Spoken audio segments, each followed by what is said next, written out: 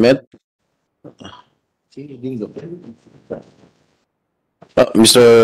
Digdong Dantes. Uh, magandang umaga po, Chairman Estrada and the esteemed members of the committee, um, Senator Padilla, mga kasamahan sa industriya, magandang umaga po. Ako po si Dong Dantes, kasama ko po si Isa Calzado, kumakatawan sa Actor, League of Filipino Actors, isa pong SEC-registered na organisasyon na binubuo ng 150 active members na kasalukuyan pong nagtatrabaho sa larangan ng pelikula, telebisyon, entablado at digital media. Gusto po namin magpasalamat na umabot na tayo ng ganito. Ganito po kalayo sa panukalang ito. Patunay po na talaga kapag tayo ay nagkakaisa, eh makabuluhang mga layunin ang na, nasasagawa. We come here today with a focused sentiment. We acknowledge the interrelated roles that each critical sector in the industry assumes. The ultimate objective is neither personal nor selfish as we stand to maximize artists' productivity and overall welfare of the workers across the board.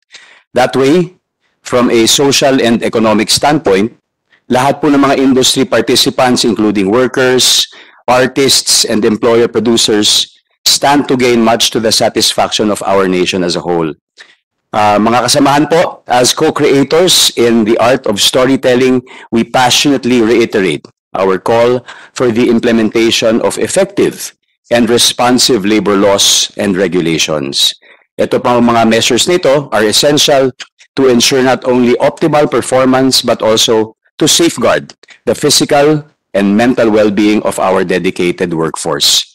The timely laws we endorse encompass contractual reliability, rationalized wages and benefits, work hazard prevention, thoughtful consideration of the work environment, and reasonable limitations po sa working hours. We have submitted po our detailed position paper, but please allow me to run down the salient points for the purpose of the discussion. Una po, regarding working hours and work uh, and rest period, we stand united in advocating for the regulated working hours, supporting an 8 to 12 hour work period exclusive exclusive po of meal breaks and a maximum allowable working day of 16 16 hours. This aligns with the Interguild Alliance's uh, proposal and excludes minors and seniors who must adhere to specific limitations.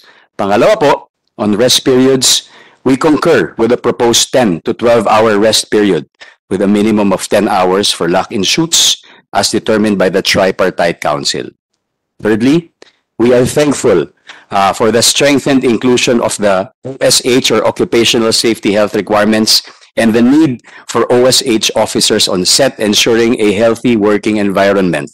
And fourthly, Actor places a strong emphasis on mitigating sexual harassment within our industry by formalizing measures in contracts to respect actors' boundaries. This includes the establishment of intimacy coordinators, um, strict reporting mechanisms, and clear contractual language. We also propose the creation of an easily accessible help desk to assist industry workers in addressing such issues and support the inclusion of a penal provision to enhance accountability. And lastly po, we champion performers' rights to fair remuneration, and we fully support the establishment of a tripartite council as outlined in the existing bills. Um, this council, we believe, is pivotal in fostering collaboration and ensuring the overall well-being of workers in the industry. It also provides a platform for industry stakeholders, including workers, producers, and even government representatives to collectively address the peculiar, the very peculiar safety concerns, labor conditions, and industry standards. Together, we can strengthen our industry, ensuring it thrives habang pinaprioritize natin ang welfare of all those who contribute to its success. Bilang pong uh, worker artist, wholeheartedly po united po kami in the goal to raise the quality of our industry even further, Mr. Chair. However, we need to start by lifting each other up because we believe that we all share a common destination. And with the success of the entertainment industry in mind po, we highlight the value of establishing the right standards and safeguards to govern it. And by that, we expect the delivery of captivating performances that breathe life into the stories we tell. Because in the long run po, we can also expect sustainability and growth in the industry that makes ours truly world-class. It is our hope for us to strike a harmonious balance between creative output and the well-being of all the performers for the growth and success of the industry and our nation's awareness. Actor po and uh, all our stakeholders are very grateful, uh, Mr. Chair, Mr. Senator, and honored for the opportunity to be heard in the process of developing these bills. We pledge our commitment and assistance in, sa- in seeing that these bills are enacted into the Eddie Garcia law. The Eddie Garcia law would not just ensure safety in the workplace, but confer to all workers in front and behind the cameras a dignity fitting to the industry we serve, the industry where Eddie Garcia spent most of, most of his life. Um, maraming salamat po. Thank you, uh, Mr. Dingdong Dantes. Anybody else who wishes to give their opening statements? Yes, please identify yourself. Patricia Lapus of, Hello, I'm Anna Patricia Lapus of Interguild Alliance. Um, Interguild Alliance, all right. okay. Um, good morning, everyone. Good morning, Chair. Um, the Interguild Alliance is a private sector community-based network of 14 guilds and organizations that represent uh, professional workers in the film, TV, and advertising industries. Can you Um, please list down what are these 14 guilds under your organization? Um, included in the 14 guilds present here today are Actor. Um, we have the Directors Guild of the Philippines or DGPI. Uh, we also have the Guild of Assistant Directors and Super, Script Supervisors, the Filipino uh, Screenwriters Guild. We also have uh, Lupon ng mga Pilipinong Cinematograpo or the Cinematographers, one of the Cinematographers Guild. Um, we uh, also have in our membership um, Filipino film editors, uh, kapisanan ng mga assistant directors sa Patalastas or CAPS.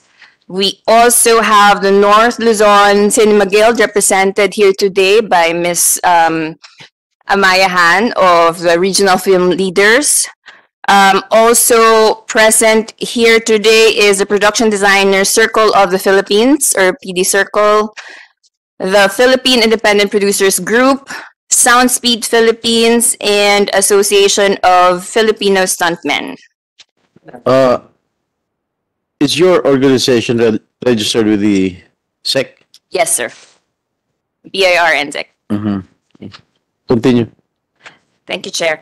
Um, the film and television industries deserve the attention as they comprise a cultural force that has contributed much to nation building and activated the economy through employment and income generation. We laud the focus of the Senate in giving these industries the support and the support uh, for the current bills aim to further enhance, protect, and prof- professionalize them. Um, as the Senate prepares to consolidate several bills upgrading the working conditions and safety standards of the audiovisual industries, we thank you for joining the IGA to participate in these discussions. Um, we'll summarize our three key elements um, for, for the bills presented here today. Our position is as follows. Firstly, we suggest a 16-hour maximum time frame. Um, this means from first man on set to the last man. Uh, pakiulit, pakiulit. Y- Your last statement. Uh, we suggest a 16-hour maximum time frame.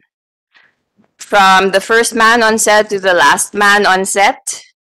Um, I think we believe it must be noted that um, we it usually takes a minimum of two hours to settle into the location, another two hours for meal breaks, and another hour maybe to dismantle everything. So that's roughly five to six hours where the camera isn't even running. Including the ingress and egress. Including. Yes, sir. Yes, Chair. Um, secondly, we suggest a 10-hour minimum turnaround time, meaning from taillights or the last man offset to the first call of the next shooting date. And lastly, we also suggest an overtime pay takes effect after 14 hours. It must however be noted that personal contracts, negotiations, and other legal agreements of above-the-line film workers with respect to their respect with res- with their respective productions be honored and respected. Um, in line with this, we also request for the inclusion of IGA representation in the technical working group or tripartite groupings. Um, it is a struggling moment for the industry, but we believe that um, we can help shape a good future together. Thank you, Chair. All right, thank you. Thank you. Anybody else who is uh, chairman of the FDCP, Mr. Yes, uh, good morning, Chair, uh, Honorable uh, Ercito Estrada. Of course, uh, I also would like to recognize uh, Senator Robin Hood Carino Padilla. Anyway, this will be short. Um, as chairman of the FDCP, the FDCP that it's very timely and relevant that the government puts a premium on protecting the safety and welfare of the workers in the film industry. But it is also equally important to give focus on the capacity and limitation of our Filipino production companies who are all still recovering from the economic downturns brought about by the late COVID-19 pandemic. The recovery and development of our beloved Philippine film industry has many problems that will have to be solved with multidisciplinary approaches that will require the collective efforts of all of us. We all have to look at an industry-wide perspective, a bird's eye view that acknowledges all the needs from all sectors of the film industry, from the actors to the production crews to the production companies and the end users. I'd like to highlight the merits studying the best practices from other countries, but it would also be favorable to study the policies in the protection of workers in other industries of the Philippines that are more developed or sophisticated in addressing the needs of labor. As we continuously find the common ground and make important compromises, I believe that we can reach agreements that will both benefit the demands of our hardworking film workers, the economic consideration of our Filipino production companies, and the changing preferences and taste of the Filipino audience. Uh, that will be all, uh, Your Honor. Thank you very much. Thank you, uh, Mr. Tirso Cruz III. Anybody else? Uh, Dr. Carlitos Sigion Reyna. Um, thank you very much, Your Honors, um, Senators Estrada and Padilla, for this uh, opportunity uh, to participate in this hearing on the Eddie Garcia bill. We in the Directors Guild uh, are uh, are in support of of um, upholding and protecting workers' welfare. At the same time, we we are also uh, concerned about uh, sustaining uh, production, uh, giving the producers enough, uh, giving them the opportunity to sustain production on an industrial scale. Um, therefore, uh, at the same time, we are concerned about having enough time for the directors to to to do, uh, to do their work well uh, to have enough time, uh, to have enough shooting hours in the shooting day to do their work well. So all of this, and then, of course, finally, the fourth interest is the public, uh, the, the most important interest is the public's right to good output from the film industry, the film and television industries. So we're all here for, uh, we are in support of workers' rights, a sustainable, productive industry, uh, good quality filmmaking and television making and all of this media making, content making.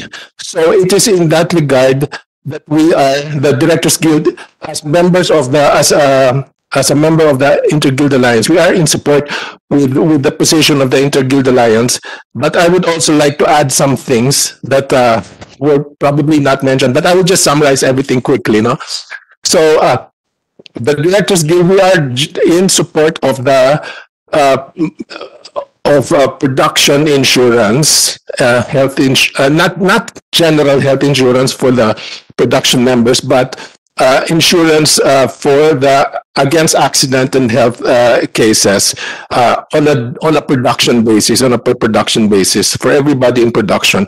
We are in support of the 16 hours maximum maximum per day, 16 hours maximum. That would be the working day from ingress of the first worker to uh, egress of the last worker.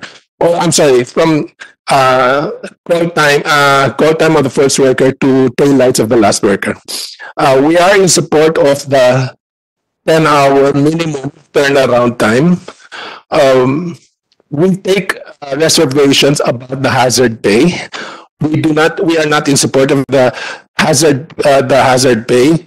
Uh, the reason for this is that any risks for stuntmen or production members shooting in dangerous areas or time periods, etc., should be costed or incorporated into the talent fees of the people involved anyway. Uh, and in the production insurance policies against um, death and accidents taken out on the production members, they're already they should be uh, people should be insured. Therefore, we are in support of the production insurance anyway. Because of these additional production expenses, DGPI does not support additional hazard pay for anybody. Um, on the nighttime differential, DGPI does not support uh, this nighttime differential. The night scenes are sometimes bunched together into one shooting day that just happens to be scheduled at night. Shooting at night or scheduling a night shoot to constitute one working day, separated by turnaround between it and other shooting days before and after it, is common practice for more efficient scheduling. Provided that production sticks to 16 hours minimum, I mean, sorry, 16 hours maximum, even at night, separated by 10 hour turnaround time before and after the shoot day, then DGPI sees no justification for a nighttime differential. Uh, regarding overtime pay, the, D, uh, the DGPI uh, is in support of overtime, uh, overtime pay beyond uh, 14 hours, beyond the 14th hour of work. Um, and uh, and however, we are concerned, uh, we are really more in support of the overtime pay for all below the line workers rather than above the line workers. Because it is the below the line workers who deserve, who need the overtime. The Above the line workers are usually packaged, uh, rated anyway, and it's kind of tricky to, but if, if we have to go there, our position is we need the percentages of overtime, over, uh, percentages of the of the hourly that that whole discussion. We leave that to further discussions in the TWG or in the tripartite council. But we really are in support of overtime for uh, below the line workers. Um, so that's that's uh, I will end it at that point, and uh, like look forward to participating in more discussions on this. Thank you very much, Your Honors. Thank you, Direct. Uh, anybody else? Uh, Mr. Manny Morf, uh, meron pa? The producer side, wala. Producer side? I think they already submitted their position paper, no? Anyway, uh, Mr. Manny Morfe, the Director General of uh, the uh, Uh, correction po, Film Academy. IC pa lang po. Okay. Moreno Magandang umaga po sa lahat. Film Uh. Senator uh, Sir Estrada and uh, Senator Padilla. Uh, ang Film Academy ay uh, meron lang mga plano at mga desisyon tungkol dito sa bill na pinag-uusapan nating lahat nung araw pa. Kaya I'm speaking behalf, on behalf of the Film Academy as what we have planned years ago, during the time of uh, Leo Martinez. We support, uh, I'm here, we've been listening, nakikinig po kami sa lahat ng binibigay na opinion ng iba't ibang organisasyon. And we, uh, we agreed on some parts at la- lalong-lalo na po sa working hours, we agreed on that. We agree on that. Ang Film Academy ay binubuo din ng ibang, uh, iba't ibang samahan ng mga manggagawa sa pelikulang Pilipino. At kami ay sumusuporta sa mga binabanggit nila ng mga uh, ban ng mga working hours except lang po I- and I would like to stress ang amin pong stand ay wala pong extension whatsoever 16 hour work is period there should be no uh, extension or kahit po bayaran because mas mahalaga po sa Film Academy ang uh, ng ka- kalusugan ng manggagawa. Ang kailangan po ng manggagawa, especially to the, the kind of work that I belong to, uh, I am a production designer ever since at wala po akong alam na trabaho kundi ito na ayan kaharap po natin ang mga manggagawa na isa sa pinakamahirap na trabaho sa pelikula ay ang art department, ang production design. Kami po ay nagsiset up uh, ahead of time, two hours before, at kami din po yung huling umaalis, hours after.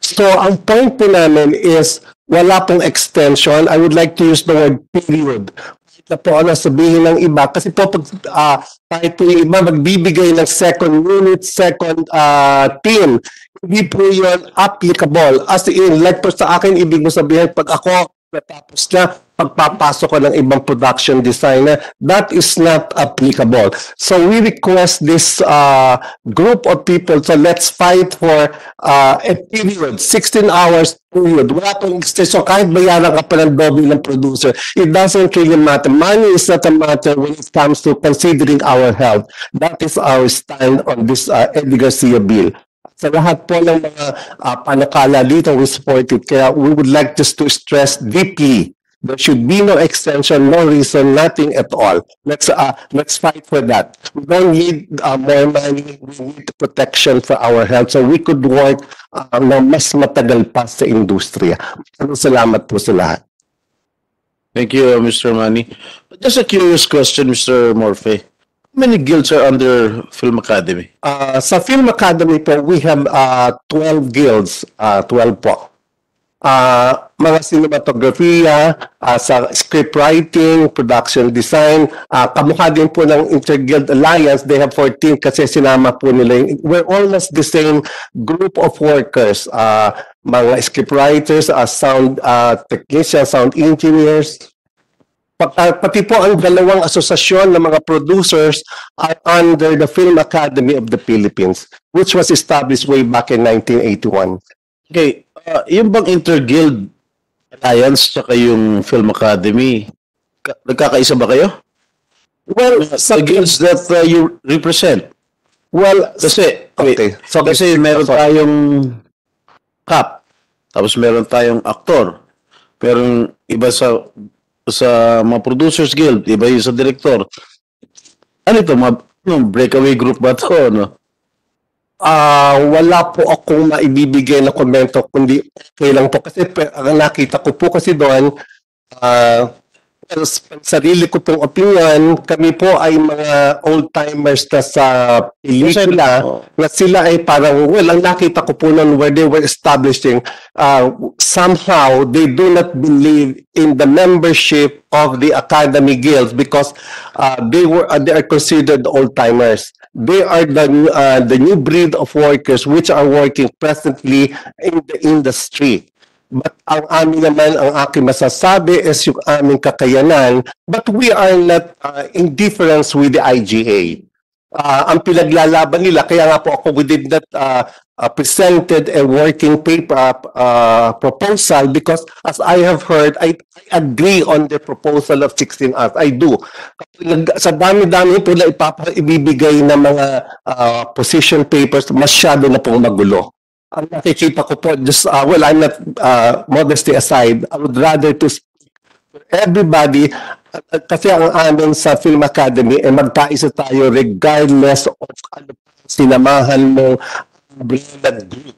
Importante po magkaisa. Kasi pag hindi po tayo nagkaisa mga kababayan ko, mga taga-pelikula, para kahit na sampung ah, senador ang mag-usap-usap, hindi po tayo makakabuo ng kahit na isang uh, alituntunin para sa industriya. Hindi po yan mabubuo. I would like to stress that. Let's unite finally in order to establish a one uh, set of working rules and regulation for the whole industry. I beg of you people. Uh, I'm, I've been there for quite so long. Uh, pag hindi po napagbigyan yung kanilang opinion ng isang grupo, gagawa ng bagong grupo. Hindi napansin yung grupo nila, gagawa na naman. Wala pong katapusan. Para po tayo mga Pilipino sa abroad. Kanya-kanyang gawa ng mga, ng mga grupo. Ay, nako, ito po, uh, kahit niyo, we're working on a unification of all the stakeholders in the movie industry. That, well, as I have mentioned in our past meeting, and we call it a summit. And ako, uh, I am uh, working for that, unification of all uh, working people in the industry regardless of ano pangalan mo, ikaw man SEC1, si Pepe ka as ano, importante sa ano ba industriya mo. Isa lang naman po eh, gawa ng pelikula. Hindi po ba? Uh, well, I would like to, uh, yung pasensya na po yung word ni Mr. Uh, Carlos Figueroa kanina na, ano yung word niya? Yung, uh, hindi yung lesser, uh, below the, Below the line. below the line. Hindi ko po tinututuan because I consider regardless of ikaw ay tiga setup ka lang ng tent, tiga setup ka lang ng ah, mga lahat ng ginagamit, mga ginagamit sa paggawa ng pelikula, level-level lang yan. At we support a non-extension the working hours because regardless na ikaw ay artista, regardless na ikaw ay director, regardless na ikaw ay utility lamang, we should be the level on a one level line uh, that we are workers of the industry. That I would like to appeal. Let's think that way. Hindi po tayo nagkakagulo-gulo. Uh, iba-iba lang po ang halaga ng sinasahod natin. Pero ang pinagtatrabahoan po natin ay isang industriya lamang. Tama po ba ako? Thank you, uh, Maraming salamat po. Thank you. Mr. Manny.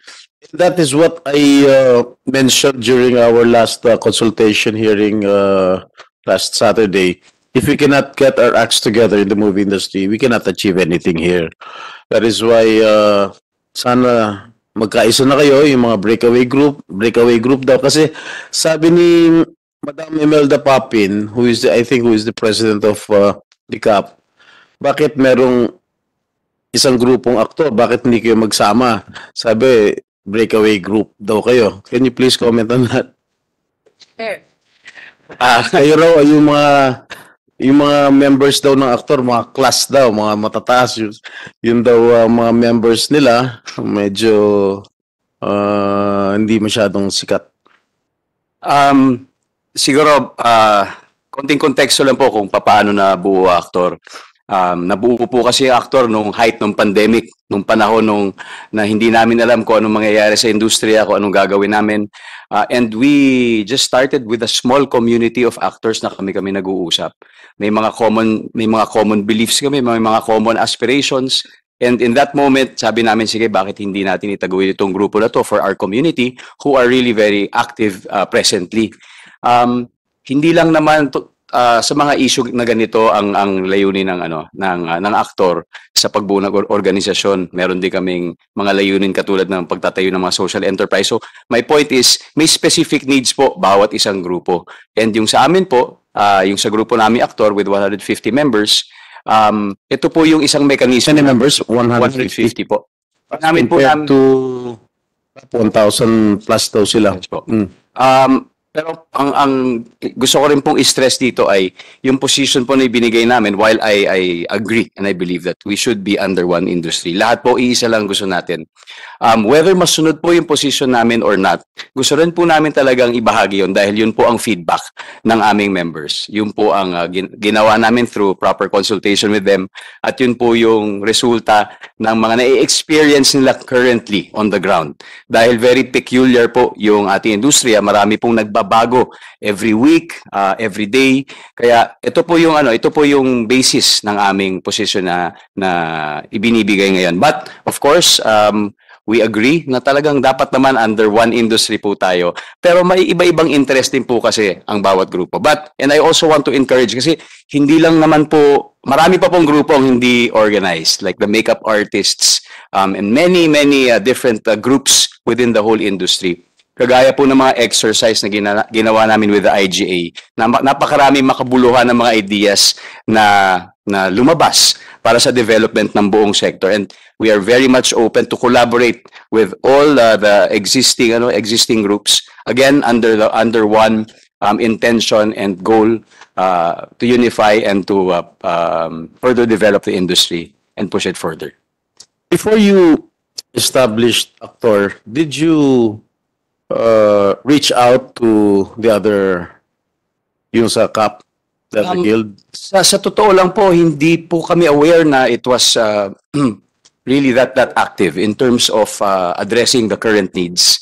Um, kasi parang ang ang mga nandun lang po ay yung existing Viber groups, uh, wala pong means of So walang, out to the walang members. contribution. So, hindi, hindi naman po sa ganun. Pero siguro it's more of kung ano yung pangangailangan ng panahon na yun, especially during the pandemic, yun po yung, hindi, yun po yung hinahanap namin. Kaya rin siguro nagkaroon ng ganitong klase. Okay, you, you just mentioned earlier that uh, you established that organization during the pandemic.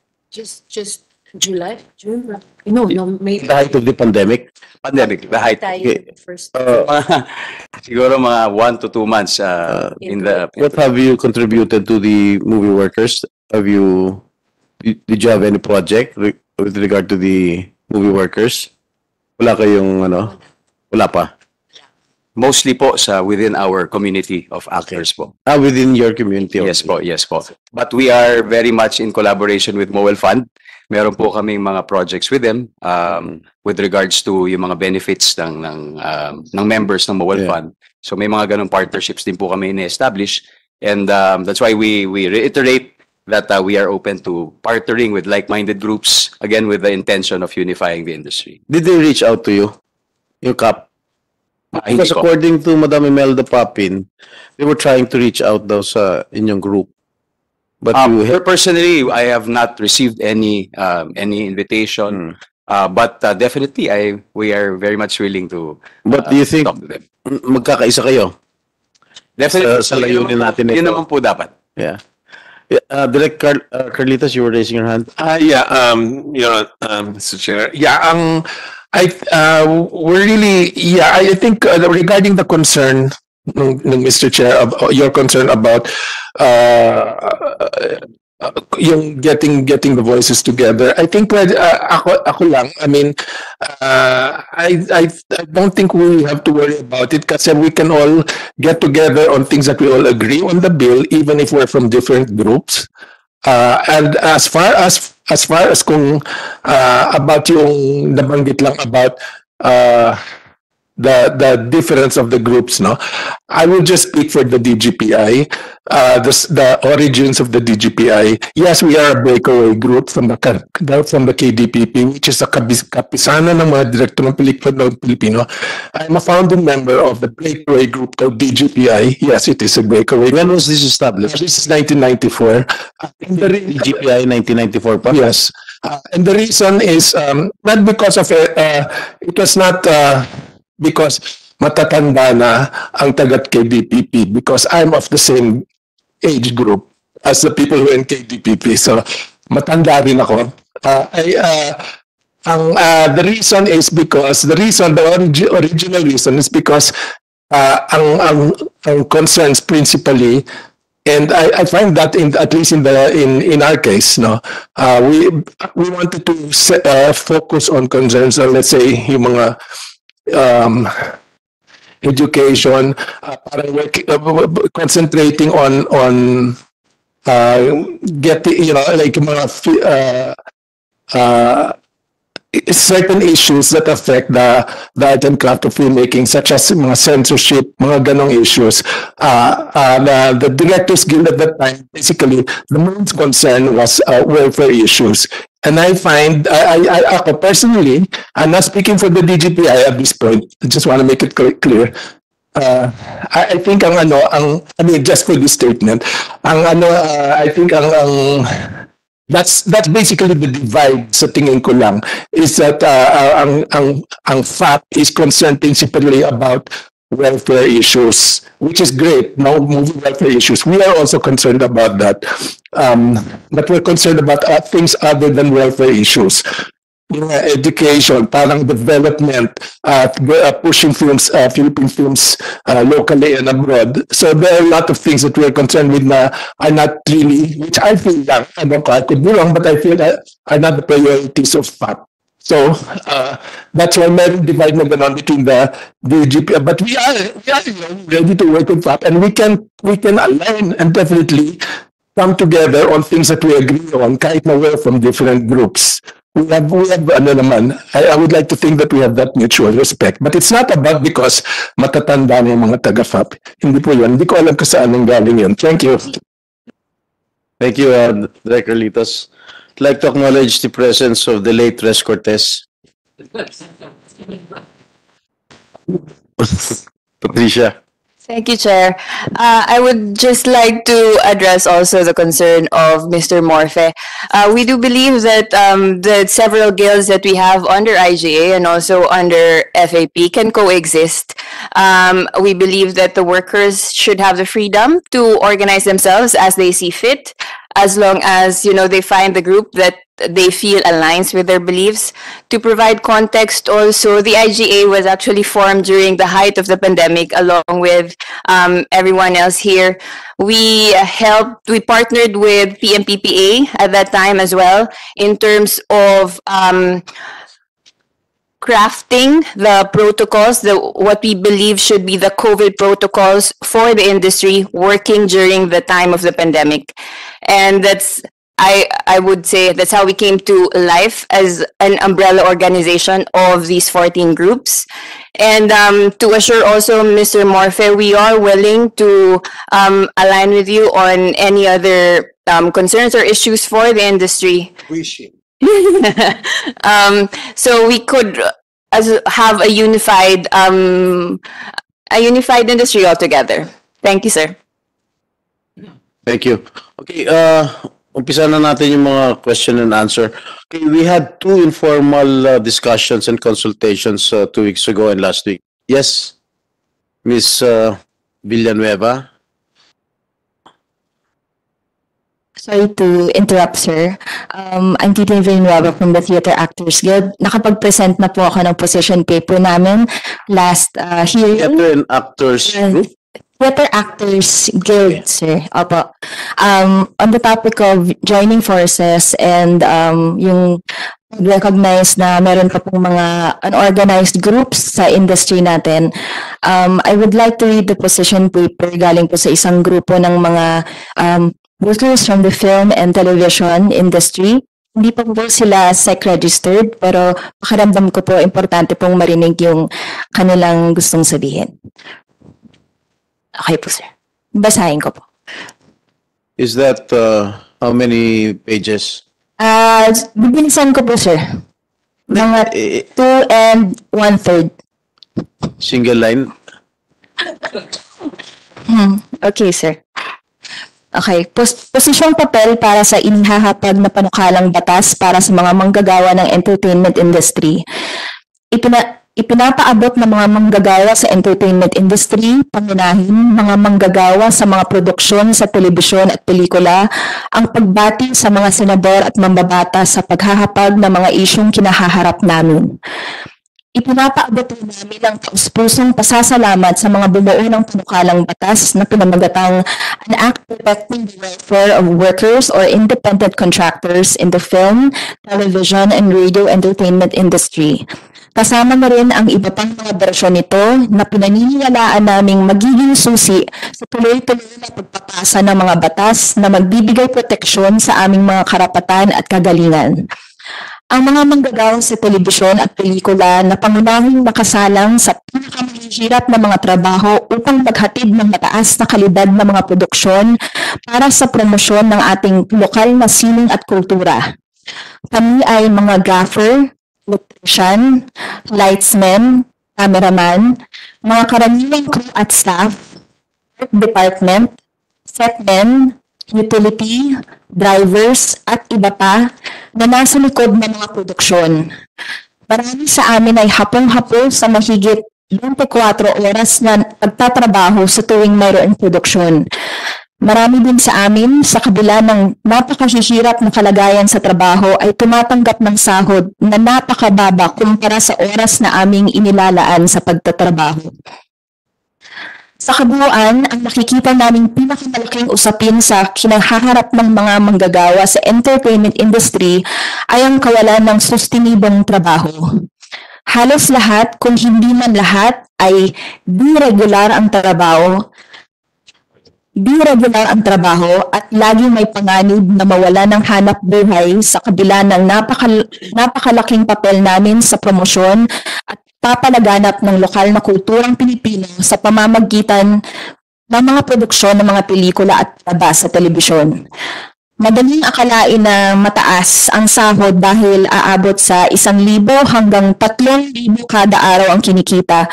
Ngunit sa kabilang banda, nasa tatlo hanggang apat na araw kada linggo lamang ang trabaho na ang katangian ay mahahabang oras ng trabaho na umaabot ng 60 hanggang 24 oras o higit pa bawat araw.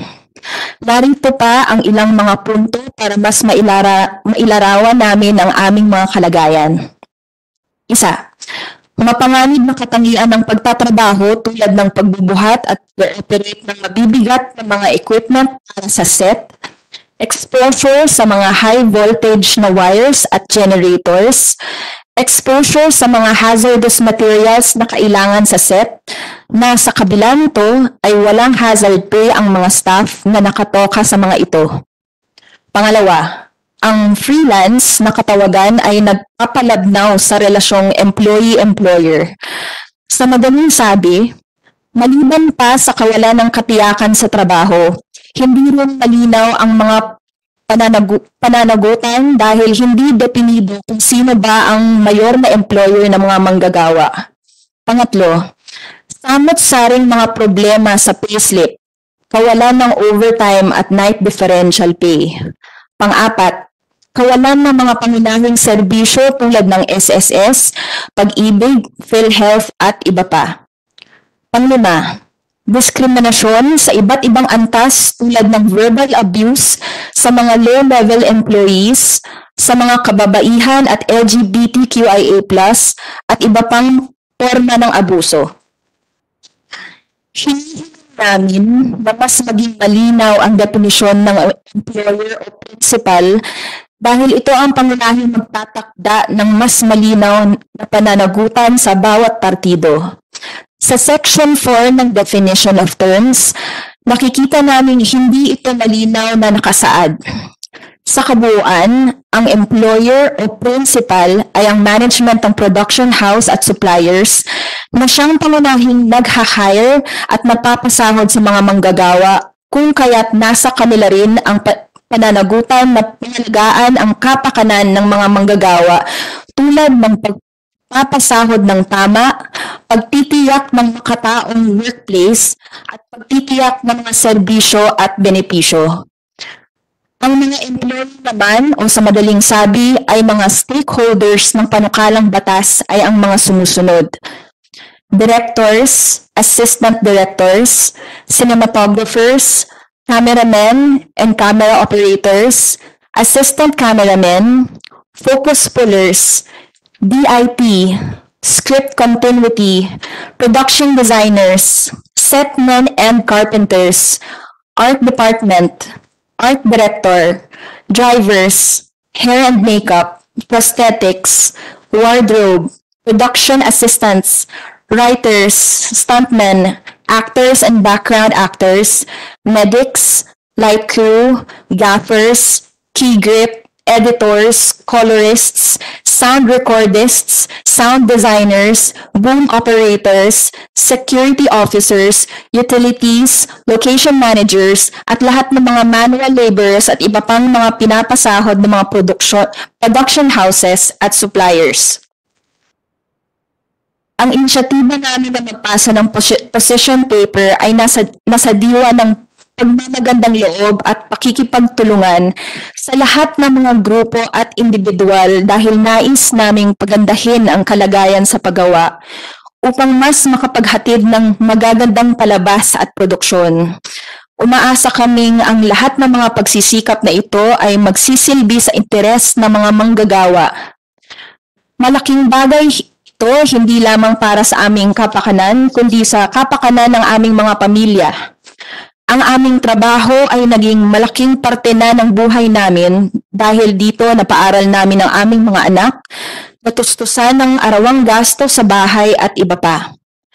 Gagawin namin ang lahat ng aming makakaya sa pangunahin upang maging mabunga ito para sa kapakanan ng mga manggagawa at para sa promosyon ng sining at kultura ng ating bansa. Yun lamang, sir. Thank you po. Okay, maraming salamat, uh, Madam uh, Miss Villanueva. Uh, doon sa binanggit mo kanina sa number three, samot sa mga problema sa payslip, kawalan overtime at night differential pay. So, itong mga kagrupo mo, hindi sila binabayaran overtime, tsaka, ano, yan, ito yung pagkakaintindi ko, correct? Apa, sir. Hindi po. Kawalan ng mga pangunahing serbisyo tulad ng SSS, Pag-ibig, PhilHealth, at iba pa. Paano, paano, paano mo, ah, paano mo mabibigyan ng SSS o Pag-ibig o PhilHealth itong mga taong nabanggit mo, eh hindi naman sila nakakontrata. So how do you do that? Um, pakiramdam ko yun din po, sir. Sana yung gusto po nilang ma mapag-usapan po Kasi dito. usually, usually, based from experience, yung mga crew, minsan nasa production ni Robin, minsan nasa production ko, paano mo mabibigyan ng, ng minsan naglalagari sila. Pag kunwari, isang araw sa akin, tapos lilipat sila sa shooting ni Robin, nagdoon din ulit sila magtatrabaho. So, walang, walang definite na, ah, na, na trabaho. Di ba? Nag, kumbaga naglalagari sila. So paano mo mabibigyan ng Can you can you apprise or can you educate this sa committee kung paano natin mabibigyan yung mga mga SSS, PhilHealth, itong mga ganito klaseng uh, nagtatrabaho? Um, I wish I could answer, sir, in a more uh, informed uh, manner. Pero po, sir, ang, ang nakikita ko pong uh, gusto po nilang mapag-usapan po talaga kasi meron po sa kanilang um, ilang taon na po nagtatrabaho sa mga kumpanya o mga production houses or mga network pero hindi po sila uh, nagiging regular. Kaya hin- yun nga po, hindi po These sila are, these are not regular employees. Oo nga po. Pero meron po talaga sa kanilang more than 10 years, more than 20 Okay. years na pong Do we have any representative Yeah, from the SSS or PhilHealth here? SSS? Okay, can you uh, please uh, state for the record the options for the uh, field workers uh, to become members of SSS? Yes, Mr. Chair, Your Honors, good morning. Um, such workers mentioned by Ms. Villanueva are considered self-employed because they are working, earning income, but do not have an employer. So uh, bilang self-employed, kailangan po sana mag-register sila sa SSS bilang self-employed at maghulog ng contributions to SSS bilang self-employed. Uh, that's why in our submissions, um, Mr. Chair, Your Honors, is to add sana a specific provision requiring such workers or independent contractors to to register with SSS first before they are engaged by the employer, principal, or producer. Uh, both SSS and the employer, principal, producer, and the self-employed person himself or herself has a role po, uh, Mr. Chair, Your Honors, in um, registering with SSS and paying contributions accordingly, Mr. Chair. Maliwanag yun. PhilHealth and PhilHealth. Yes, uh, Mr. Chair, Your Honor, it's the same principle. Uh, the actors, actresses, and other in the film industry, in the TV industry, they are considered to be independent contractors or uh, self-paying individuals. So they're required to be uh, members of PhilHealth and they will contribute their own uh, premium contribution to PhilHealth as independent contractors. Pag-ibig, Um, Mr. Chair, for Pag-ibig Fund, gano'n din po. Ah, yung pong ating mga ah, kasamahan po doon sa film, movie, television, ah, and radio industry po na hindi po sila formally employed, ah, ay pwede po mag, mag-register po sa Pag-ibig Fund bilang self-employed ah, individuals po. Ah, pag self-employed po kasi po, yung employer-employee ah, counterpart, sila po yung magre-remit po at magre-register. Ah, yun naman pong nasa formal ah, sector, ah, ang kam- kumpanya po o yung kanyang pinagkatrabuhan, ang siya po magde-deduct ng employer share at magre-remit ng employer share at sa pag-ibig fund po. So covered na po ni pag-ibig fund yung mga nasa uh, other working groups po, uh, included na po yan sa aming uh, implementing rules and regulations ng Pag-ibig Fund po under Rule 5, Section 3G ng uh, RA 9679 po. So, kapag po self-employed, sila po yung may obligasyon na mag-deduct and remit sa Pag-ibig Fund po. Correct. Oh, mapali- ah, maliwa- maliwanagan lang ako, no? Magre-register sila. This sa PhilHealth, SSS, Pag-ibig. Walang bayad yan, ha? Wala. Wala pa, Mr. Chair. Libre. Yes, Mr. Chair. Alright. Thank you. Wala na. So, okay, just to give you a brief background with regard to the uh, consultations and discussions, uh, the two consultations and discussion last week. Kasi medyo informal yan. Ngayon, gagawin natin formal. Okay, during our dialogue with the members of the entertainment industry last September 15, si Mr. Coco Martin mentioned that his production team is currently doing a 12-hour taping day. Kasama na po dito ang oras ng para sa tanghalian, merienda, sa umaga at hapon. Ang sabi po niya, kaya naman po itong gawin at ang kailangan lamang disiplina sa pagsunod sa oras. This matter continue to be an important topic, even the second dialogue with the stakeholders. Okay, may we hear for the record the position of our stakeholders regarding this proposal. Gawin lang natin formal to kasi we- already um, uh, got the answers from some stakeholders concerned during our last uh, consultation. Sino pwede sumagot? Kaya raw gawin ni Coco Martin 12-hour taping And when I asked him if it is applicable to the movies, sabi niya, yes, it is applicable. Kung kaya niya 12 hours, di mas mabuti. But I don't think it might not sit well with the producers. Kita mo, nagtataas ng kamay si Percy. Percy,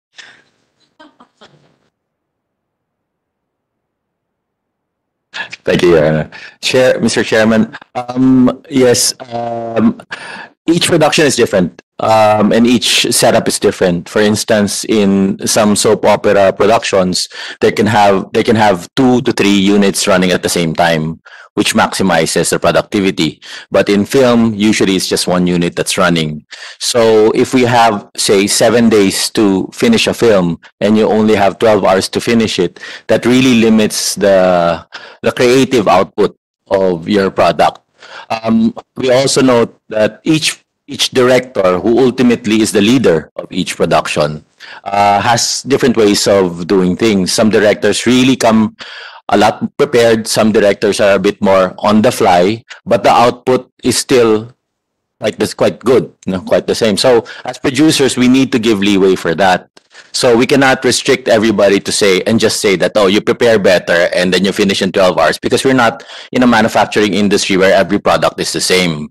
Each product is different and there has to be that creative freedom for directors to do their jobs with enough leeway for them, enough buffer for them to change their minds, do, something a bit better, you know, spend more time on something. Plus, uh, as we noted in our last discussion, uh, Ch- Mr. Chairman, each genre is also different.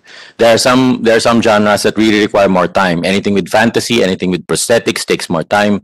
Anything that's horror, which usually runs at night, which everybody knows people walk people move a lot slower when when when you're working late at night. So those things affect uh, the number of working hours. That's why we are espousing that we maintain 16 hours. I think that's a sweet spot for everybody. 16 hours period according to my, According to Mr. Wala extension. We, our only clarification, and I think this is going to be in the technical working group already, is that we cannot, we cannot, even if we want to start from the first person on set to the last person on set, we have to consider that if a director has 16 hours of work, there will be people working before the director arrives. So it cannot be counted because you, otherwise what will happen is we count from the first person on set and the director is only working for 10 hours na because there's six hours of preparation before the director comes or whatever. So that's why we are espousing that we become a bit more flexible. The goal here is that each person should work a maximum of 16 hours. Yes. Alright. Kada sa kamay. I was just about to say, uh, to make it clear also, one one of the points nga, dito sa pinag-uusapan ngayon, uh, your, your honor, yung working hours, um, iba-iba iba, iba sinasabi, are based on call. parang mga nagsasabi, dapat mag-umpisa raw yung first scene na kukunan sa'yo. Mag-umpisa yung time. Kung isang gawin, halimbawa sa akin, nangyari na. Ah, lumabas ako sa isang malabas. Kung on, ka, on, on call, eh, nagpo-prosthetic makeup ako. So, two and a half hours, andun lang ako sa makeup. So, kung din mag-umpisa sa call, I'm not taking the side of the producer. Lugi na yung producer sa akin two and a half hours dahil mini-makeupan pa lang ako eh. So, mawawala na kagad yung yung two and a half hours. Pag kunwari, ang call time mo 6 o'clock in the morning, pag ang pinag-usapan natin 16 hours, so dapat tapos ka na ng 10 in the evening. Correct? Anong ganun po yung sa yung call time? Yes, ang iba sa call time. Ngayon, pag 6 o'clock ka dumating, tapos magpapa-makeup ka pa, prosthetic, katulad ng sinama 2 hours and a half, Yeah. so minus yun, ba, wala yun. Lodi na, eh, na nga yung producer dahil kung sa call yung bibis yung hindi lang nag 16 hours ko, maandar na ako ng 6 o'clock. Kung call ko 6 o'clock, maandar na yung time ko. Mhm. Kahit na hindi pa ako nakukunan, hindi-makeupan pa lang ako. Kanya parang one of the one of the details nga na dapat maklarify. I mean, should it really be all time or should it be the first thing that But what is the pleasure of the producers? And of course, I will also get the opinion of uh, yung grupo ninyo. Um, Mr. Chairman, I think um, we have to discuss this to be honest, because um, of course it is advantageous. Thank you very much, uh, Chair Tirso, for pointing that out. Because eh, it would be better for us if it's from roll time, because then we can shoot a lot Call more. time. Roll from the time Ah, that cameras start rolling. However, we do acknowledge that there are individuals whose work starts a lot earlier, as for instance pointed out by location managers. They arrive much earlier than call than the roll time. The people who pull out the camera equipment work a lot earlier than the roll time. So that's why we think that there's a lot more discussion that should happen when we go into the details. Thank you, Chair. Uh, you want to comment on it? Or the interguild na lang sasagot? Yeah. Thank you, Chair. Um, to, to address the concerns on working hours, eh, it, usually po kasi sa pelikula, then, um, I don't know po if Mr. Coco Martin specified if the 12 hours he mentioned included the setup and the the set down nung shooting nila per day. Did he, did, Pag-grind ng camera. Ah, pag-grind. Um, ang position po ng IGA talaga, ang nalulugi yung below the line, uh, to use the technical term, um, kasi sila yung nauna sa set. We also recognize the fact na um, if we consider the per hour um, time of each crew member, then that would also um, bloat the budget, so to speak. If we are to um, if we are to allot for shifts in the production set just to maximize then the day for the shooting, but overall hindi rin naman po usually ang nangyayari sa pelikula as mentioned by uh, Direct Percy. One unit lang talaga usually in any movie set. Kaya um, to give due recognition to already the efforts of every person once they step onto the location, um, it is our recommendation na kasama from the first man on set to the last man out. Hindi na nga po namin sinama yung travel time. Ay, hindi nyo sinama. Alright, so pagdating sa set, pag kunwari call time ng mga artista, 6 o'clock in the morning, syempre ma maaga yung mga crew doon, mas mauna yung mga crew doon. Syempre, mag-setup pa. Correct? Pag dumating ang mga crew ng alas 5 ng umaga, kasi 6 o'clock or 1 hour before the uh, call time, so dapat umalis sila ng 10 o'clock, ano, 11. 11 o'clock ng gabi. Ah, Halim, tama ba? nagva-vary po yan kasi most productions, they provide transportation. So, yung depende po sa sunduan ng services. But it's usually may house to house. Oo, mga two hours before at least yung first man. Kasi sila pa rin yung huling aalis sa set eh. Opo, para magligpit. Kasi mag, mag ano, babaklas pa sila kung ano-ano babaklas nila ron. So anong, what is your recommendation? 16 po 16 pa maximum. rin, maximum. So yung flexibility po um, would be per production na lang how to maximize that 16 hours every day. Period. Tama. No overtime pay. Kahit pakiusapan ng producer, baka pwede additional two hours, bigyan ka lang namin ng ano. Po, um, as far as IJ is concerned, Usually, ganyan naman nangyayari. In- internal uh, ano pag-uusap nilang between the producers and yung mga suppliers. yes, Kay mga artista, minsan pinakikiusapan yan eh. Yes, Chair. Opo. Di ba? I think even ten Kasi, suppliers. halimbawa, naka 16 hours sa Tirso, si Ti- Tirso Cruz. Tapos meron, meron pang isang eksena na na hindi pa natatapos. So, eh, gusto nang umalis si Tirso Cruz kasi 16, 16 hours na. Tapos pakikiusapan ng producer, baka pwede isa eksena pa. Eh kung mag-walk out yung artista, paano? Hindi nabitin. Di ba? So, pag nilalagay natin sa batas, 16 hours, at pag umalis ang, pag natapos ang, pag nandun na yung, pag nakapagtrabaho na isang artista na 16 hours, obligado na silang umalis, unless pakiusapan sila ng producer. Yeah, meron mga artista ganun, pagka sinabi sa batas, 16 hours, aalis na sila. Regardless kung meron pa silang big scene or whatever. Um, it's very rare na yung artista po yung nag pinakamatagal. If anything, they would be the um the the group of people Okay. na Eh, yung mga shortest time. billing line workers, Apo. pag nat, natap, na, nakapagtrabaho na sila 16 hours, tapos meron pa natitira malaki eksena, Ar- umalis sila, di, up na rin shooting. Opo. Hmm. Di Y- yun po yung recommendation ng IGA. Hindi, another uh, additional burden sa producers yan dahil kung meron naghihintay na big scene, tapos na- nakapagtrabaho na ng 16 hours, syempre alis na yun, pagod na yung mga tao.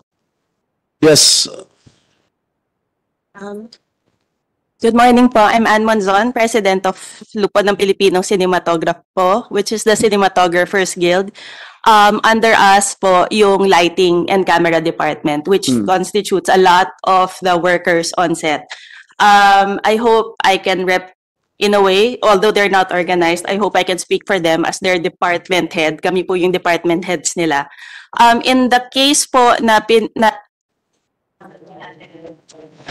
Sir Senator, um, while mas maaga nga po dumadating, pinakamaaga po dumarating yung production design, art department. So, um, by the IJA call of 16 hours only, hard stop, it will count, as we already mentioned earlier, the first person in and the last person out.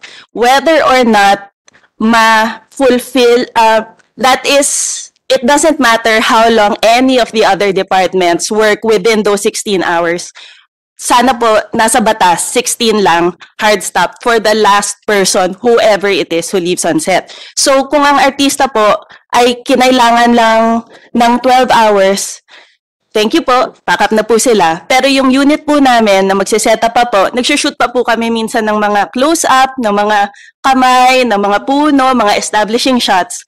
Yung mga tao po namin and then yung mga tao po ng art department na magsiset down pa po after pa po nung aming technical team, sana po pasok po lahat, saklaw po dun sa 16 hours and wala na pong negotiations after that. The overtime po sana will be something that is contractually agreed upon on a case-to-case or a per-project basis.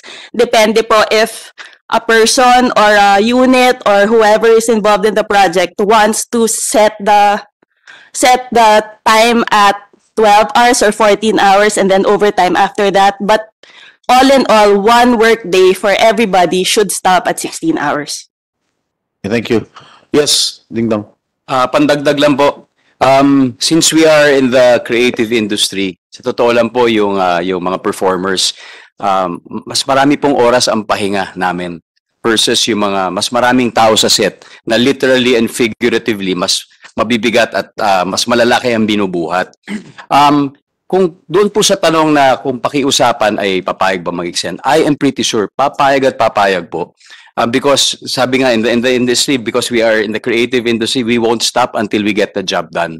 Kaya it is our hope na meron po talagang kahit papaano framework sa pamamagitan ng batas na ito na pwede nating balikan. Kasi with, kung, kung sa uh, pakiusapan, sigurado papayag at papayag. Pero kung meron po tayong sinasandalan, at least may basihan po. And um, You're talking about yung artista. Papayag at papayag. Ay, uh, kahit, opo, everyone po eh, everyone. Uh, Including those, yung mga kami po ay papayag, di syempre lahat po damay-damay na. So gusto po namin um, yung protection na to, yung 16 hours, kung ano po mang number yon. In fact, wag lang po sanang mabalik sa dating practice. Whatever the committee agrees on is a win for us. Ah, para lang ah, across the board, mula sa um, first person in or any person part of the crew across the board, ah, whether artista po man or crew or staff, ay ah, ma ma ma maproteksyonan nitong ah, working hours po na ito. May I know what was the pre- previous practice before? Iba-iba po. Ay, Gusto niyo po ba yung best and worst naming lahat? Chair, Yeah. I mean, um, ang max ko po po yata ay umabot ng 36 or 36 hours straight? Yes, palipat-lipat po ng location. 36 hours? Opo, Ano ito, TV or shooting? TV po. Okay. Senator, non-stop po. Non-stop po. Isa, Non-stop isang- po din. Non-stop yun. Hindi, I mean, walang pahinga, walang tulog. Yes. Meron, meron, meron, meron. Ay, Chair. Yeah, yeah. Ah, sa ang magiging pahinga on ay kung halimbawa bumaklas, travel kasi ah depende po 'yun. I think I've experienced that twice. You, for you're trials. talking 36 hours artista. Artista, artista lang So 36 yun, ako po ito. Kung artista 36 hours, what more yung mga mga crew, mga Exactly. production designer. Mas matagal yun. Kaya po ang kaya po 'yun talaga ang hinihiling namin na ang ang dating nakagawian ay iwan na natin sa nakaraan. Yung 36 hours isa, uh, Yes po, Chair. ang bayad sa inyo isang araw, Yes po. panginang yan. Sir, s- strike off the record yung Sir, may huling uh, pandagdag na lang po. Um, eh, totoo po yan, may mga ganong um, realities po on the ground. Um, pero, ba tayo? oh, pero ito pong mga uh, pinopropose namin ay base sa mga best practices. Dahil napatunayan po na it is possible na kung ganito po ang ating window ay merong decent amount of creative output for as long as efficient po ang lahat at, nagka, at nagkakasundo. Yung sinabi po ni uh, Mr. Coco Martin, totoo po yan, na posible po yan, at maganda pa rin ang kinalalabasan. Everybody is uh, safe and happy across the board. Even the 16 hours has basis na it has been done. In fact, nung pandemic po, mas, mas naging very, very, very, very strict po ang lahat. At nagkakaroon, nag- nagkaroon din naman po ng mga magagandang output. Although, syempre, pag uh, mas hinabaan pa natin yan, mas mas marami pa po tayo magagawa. So again, ang point ko lang po, yung these recommendations are based on the best practices na po pwede po siyang mangyari kahit na may mga limitasyon pong ganito. Thank you, Ding Dong. Uh, rest assured, itong 36 hours hindi mangyayari under this bill. No, if you have this, uh, uh, if this law will be, in, if this bill will be enacted into law, sisiguraduhin natin walang ganyan na mangyayari. Katulad ng sinabi ni Isa, uh, yung nakaraan, iwanan na natin sa nakaraan. Yes, direct. Thank you, Mr. Chair. I think yung ano kasi, yung 16 hours that is being considered, ano yun eh, yung nga hard stop yun, maximum. Uh, wa- wala nang overtime that's being considered in that proposal beyond the 16. The only, the only overtime that's being considered, at least sa IGA, uh, majority proposal, no, is, is, is, is uh, overtime between 14 hours and 16. Pero beyond 16, hard stop na yun. Tigil lahat. Kahit anong, I mean, that's the proposal kasi nga that's the way to balance it kasi para workers' welfare at the same time magandang magawa yung pelikula. At the same time, there, you know, there's a, ma- mapatapos ng producer in enough shooting days na hindi naman siya malulugi. So we're trying to balance everything in with that, with the, with that, you know, with that 16 hours. Thank you. Thank you, uh, Direk. Yung, yung sinasabi, isa yung sinasabi mong 36 hours, uh, kasi uh, I'm really bothered. Chair, yes. Pag 36 hours straight nagtatrabaho, iba na ang mukha mo nun eh. Haggard na. Iba na reaction mo sa pag-arte.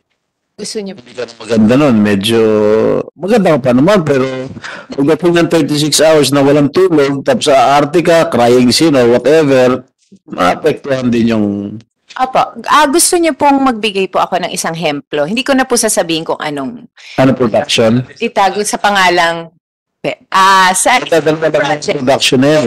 Personally lang po, nangyari po ito. Pagtatapos po ng isang serye namin, ah pagod na pagod na po kaming lahat. Umabot po kami noon ng next day na, parang second day, magto two days straight kami noon. Ang tulog na po namin sa set. 9 a.m. po, hindi pa tapos yung first day namin. Nakunan po ang eksena.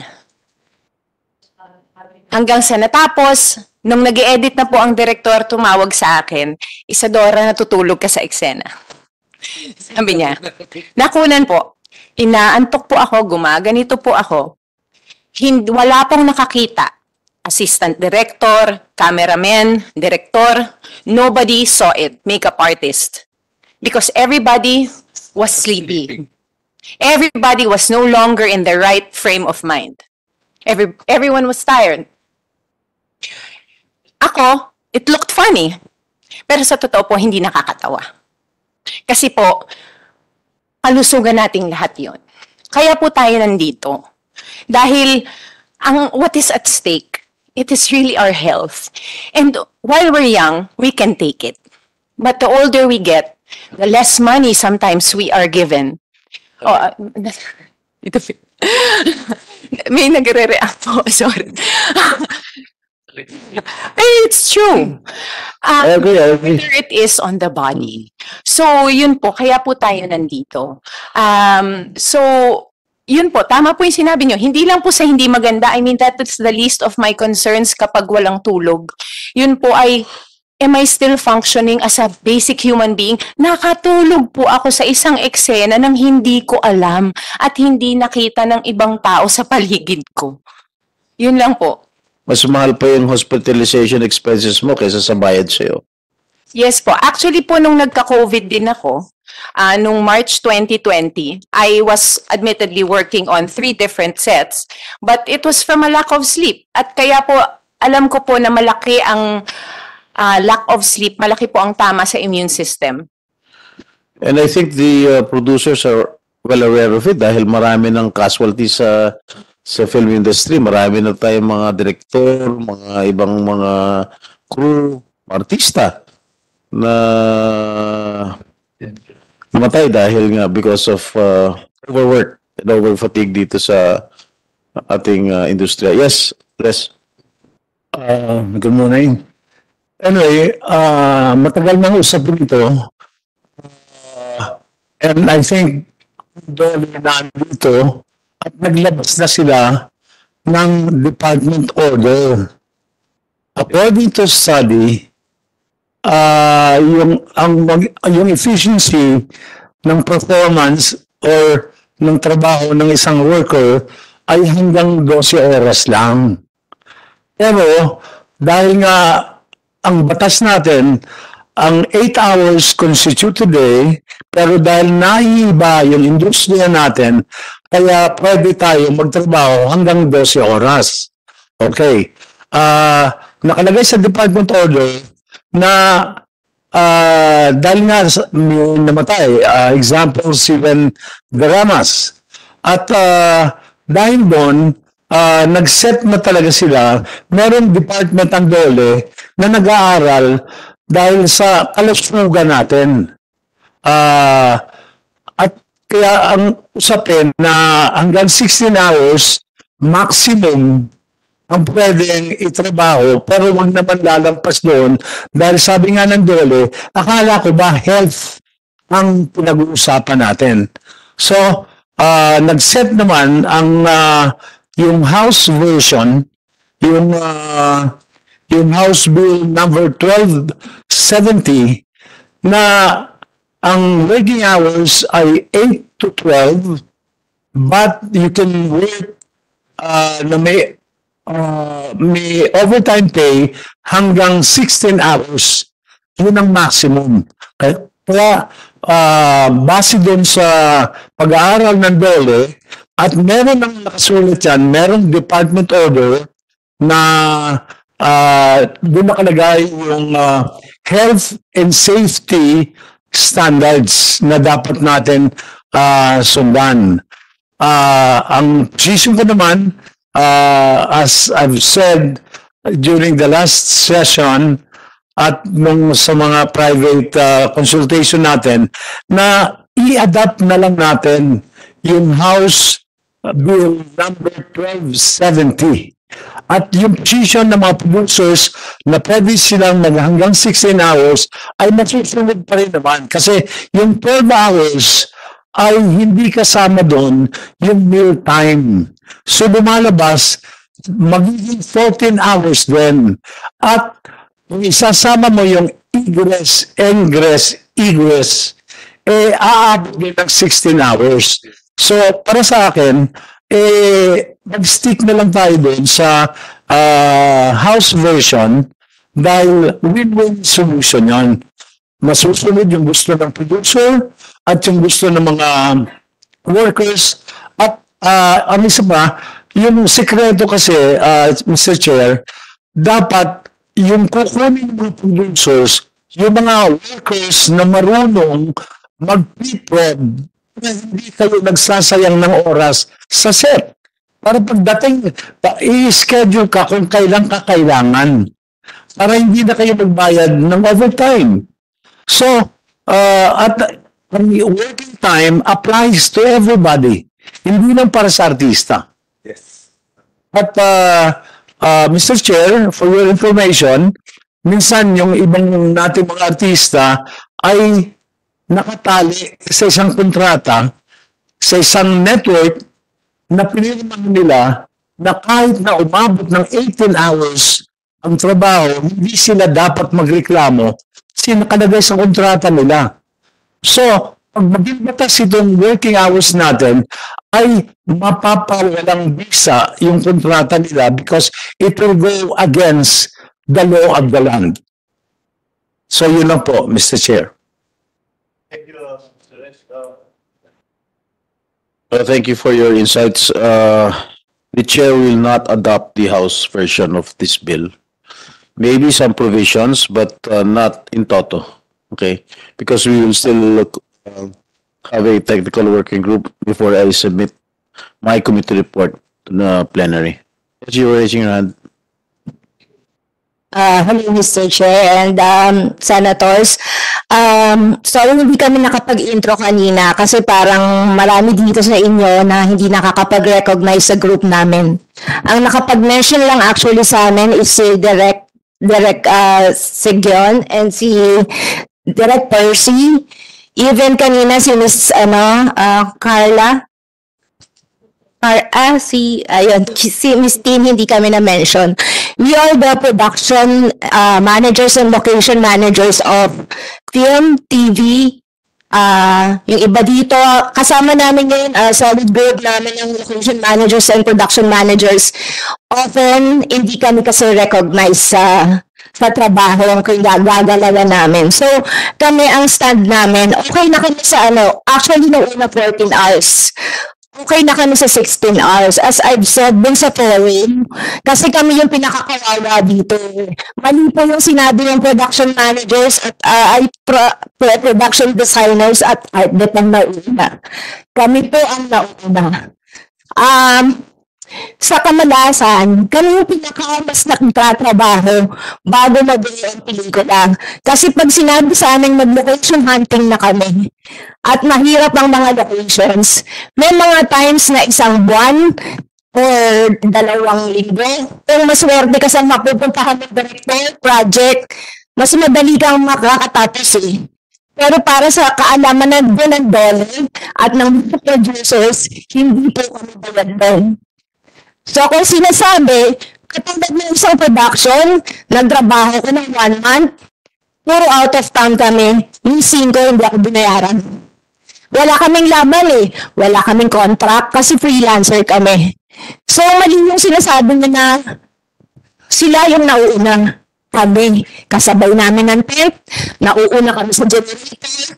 Kasi pag kailangan sila sa amin from technical. Sana, di ba parang hindi lang kami 3 hours advance, 2 hours advance, during pre-prod, PR, may sasama na each department. Kasi ang role lang na po namin para ka ng ituro sa tent boss kung nagsasan magsa-set up, ituro sa Janet kung saan magpa-park. Wala ba silang common sense? Kaya lang diba kasi, sagot namin ng location eh. Sagot namin ng safety. Di ba pag naghahanap ka ng location, hindi lang basta makakita kami ng bahay eh. Uh, i-consider namin yung logistics, yung safety, yung parking, hahanap kami ng nearest hospital, ng police station, i-consider mo pa yung budget. So, hindi lang ganun kadali. Hindi pag sinabi ng director na ganun pa ng mention, hindi lang tayo siya lang kakatapin namin eh. Sampo, pag maarte director mo, sampo ng ano, di ba, wala ka ng oras. Even sa location hunting, we will start at 5 a.m. para mas madami kami ikutin. Makakauwi kami 10, 11, hanggat kayang may kurna na location. So talagang, parang dito lang, feel namin nakawawa kami kasi kami talaga yung nag-violate sa time. So, kung nag-agree at gagawing batas yung Eddie Garcia, no, okay na kami sa 16. Basta ng 16. Pag umalis na lahat, alis na din kami. Kasi kami pinugo eh. Tapos yung ano, yung budget namin, parang bata pa kami eh. Parang nagdagdag 1,000. So kami, tsaka kami, freelance kami. The rest ng kasama namin, taga-network. So, we're also protecting them. Ang ano lang ng freelancer, um, mas konting ah mas konting increase sa talent fee, pero wala kaming mga benefits katulad nila. So, yung kaninang na-mention sa pag-ibig and ano, ah tama naman sila, sir, eh. Kumukuha kami ng self-employed. Hindi namin na yun kasi thankful din naman kami sa producers eh. If not for the producers, wala kaming kabuhayan. So, pag dinakayan nila kami, may kabuhayan kami. So, hindi na namin i-demand sa producers na dapat meron kaming SSS. Kasi after seven days, iba na naman ang katrabaho namin. So, I understand that. Kasi choice namin maging freelance. Ang benefit ng Katanda Network, yun, meron silang benefits. Pero, nakastock sila sa ganong sweldo. Tapos, Mr. Chair, kasi nanood ako ng hearing nung last time, na-mention din dito yung yung pagkain. Kami, hindi lang kami bayad sa location hunting. May tumatanggap na meals 65 pesos, 85 pesos, hanggang 100. Saan kami kukain? Sa karinderya? Pati yun, pagka malayo ng location, pati yung karinderya na ganun lang ang halaga, kailangan mo hanapin. Tapos hahanap pa pa ng resibo. Pero pagkasama namin ng mga boss, ang director, they can spend until up to 8,000 for the meals. While us, na laging nagbibiyahe, by land, by boat, by plane man yan, wala, ganun pa rin. Gaano man kalayo yung marating namin, pagkain namin, swerte ka na sa 150. Yan lang, ako nag-agree ako sa lahat eh, na 14 hours, 16 hours max. Kasi let's face it, nagkakaroon naman ng internal na usapan eh. Dahil makikisama ka, pag sinabing alam mo rin naman yung, yung side ng producer na yung ginagastos nila, di ba? O pwede ba ito na nila yung one scene? Pero kasi kami talaga yung sa time. Dahil nga, two hours before, para lang i- i-set up lahat ng parking ng tent. Kasabay namin dumadating yung Janet. Minsan nauuna pa kami. Yun lang po, sana mabigyan din kami ng recognition na bilang mga LNPM na malaki na ang hirap namin sa pagdala ng pelikula at soap opera. Salamat po. Thank you, thank you. Uh, thank you. Thank you, Nelisa. I understand your uh, predicament. And I think the the representatives of uh, the Producers Guild are uh, listening intently. And uh, one thing I am concerned of is the food, yung binanggit mong pagkain. Siguro naman sana yung kung ano yung kain ng artista sa set. sana yun din ang pagkain ng mga maliliit na tao na nagtatrabaho sa sa set. Kasi yung when I crafted this kasambahay law, kung ano yung kinakain namin, yun din ang kinakain ng aming makasambahay. Sana ganun din dito sa industriya natin. Kasi hindi mo mga aso yan, tao rin yan, hindi mo mga hayop yan. Although mas mababa pa nga sweldo nila, dapat nga mas pakainin natin mas masarap dahil ma- mas uh, matagal pa sila nagtatrabaho kaysa sa mga artista. Yung mga artista, maraming pera yan. May pwede na sila, pwede sila bumili sa mga restaurant. Pero yung mga, yung mga, yung mga, yung mga nasa crew, yung mga nasa, yung mga production design, yung, et cetera, et cetera. Sana kung ano kinakain ng mga bida, ng mga artista, hindi na pakain natin sa kanila. Okay. Yes, you were raising your hand. Ayun po, Mr. Chair, sorry po, hindi po po namin napakilala yung grupo namin kanina, hindi po kami na nakapag-opening remarks. Pero sasabihin po sana namin kanina, lahat ng ah, scope of work namin sa paggawa ng pelikula man or television. Ah, bilang nabanggit na rin po ni Neri yung iba, ah, sa amin din po ang responsibilidad ng um, pagkuha ng mga permits para sa kaalaman po at kabatiran ng lahat ng nandito. Sa amin po yung pagkuha ng permits sa barangay, sa homeowners at sa sa mga city hall. Sa amin din po yung iba't ibang requirements ng produksyon. Gaya po ng paghahanap ng mga kotse, sasakyan na ginagamit ng mga artista, ng kanilang mga alagang hayop, aso, pusa, kalabaw, baka, ahas. Sa amin din po yan nakatoka. Sa amin din po nakatoka ang mga um, ah, sinisisi ng mga maiingay during the set, uh, pang mga maiingay na naririnig, sa amin po yan. Sa amin din po bumabagsak ang kadalasang galit ng mga kapitbahay dahil during their celebration, pinapatigil po namin sila sa kanilang pagbibidyoke. Sa amin din po ang dagsak ng reklamo ng mga kapitbahay na nag, nagre-reklamo dahil po maingay during takes at yung mga nagliligpit po ng gamit o nagsiset up po ng gamit. Wala bang tanod dyan? Di ba meron Ah. tanod nung nag-traffic-traffic dyan? Meron po, ah, kaya lang po kasi ah, may permit naman po kami sa barangay. Kaya lang po kami po Sa yung mga tanod eh. Yes po, yes po. Kaalalay po namin sila, pero kasi pag, pag sila po yung tinawag, kami pa rin po yung nabaharap. So, nagpapaliwanag po kami ng dispensa, na pasensya na po kayo, ganito, ganyan. So, sa amin din po yun. Chair, yung worst kasi doon, ano eh, ah, namumura din kami ng director. Kasi even yung ingay ng aso, ano ah, sorry ah, sorry Direct Percy kasi nakatrabaho ko din si Direct Percy eh. Ah, yung, hindi, hindi, hindi, hindi ka, I'm not referring to you, Direct. Hindi, syempre, I respect din the directors na nakatrabaho ko rin. Marami naman na akong naikutan na networks. Pero kasi di ba, Direct, lahat naman kasi, pagka sa location talaga, yung mga naglalasingan dyan, nagbi-video kay asong tumatahol, mga naglalarong bata, lahat yun, ano eh, a- ano namin, ah, saklaw ng ano namin. So, kaya kami nandito, thankful kami na na-invite kami kasi it's about time na marinig kami. Kasi hindi alam ng lahat, kala nila, laki ng sweldo namin, location manager, production manager. Eh, pag mo yung paghahanap ng location, baka wala pa kami bumandaan sa isang araw. Thank you po, Chair. Thank you, uh, Neri. All right. Uh, okay, last uh, Saturday, we, uh, meron nag-mention yung mga talents. Meron bang representative na agency dito sa talents? Wala.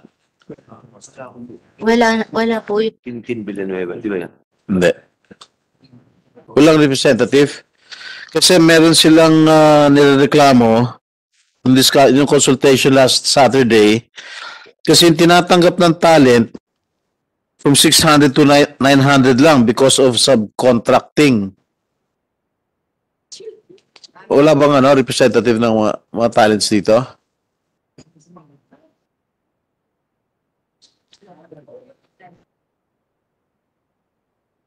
Wala. Inimbita ba, ano? Comsec? Hindi niya inimbita? Hindi na imbitahan?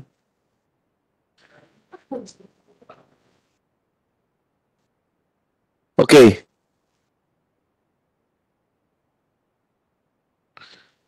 Okay, do we get a consensus among all the stakeholders concerned that the workers should be provided by the employers or the producers with insurance that will cover the costs of work-related injury, disability, accident, or death?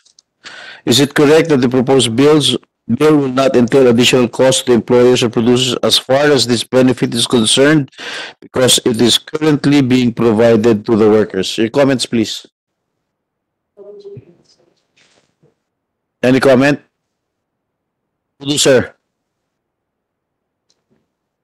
Chair, yes, we are amenable to that. We put it in our position paper that we are willing to, we are already, actually, some of us are already providing. But, uh, yes, work-related. What kind of insurance? Uh, work-related, uh, insurance, uh, Mr. Chairman, that covers accidents, uh, death, disability.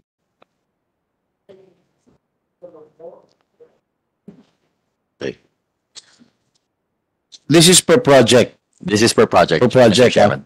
All right.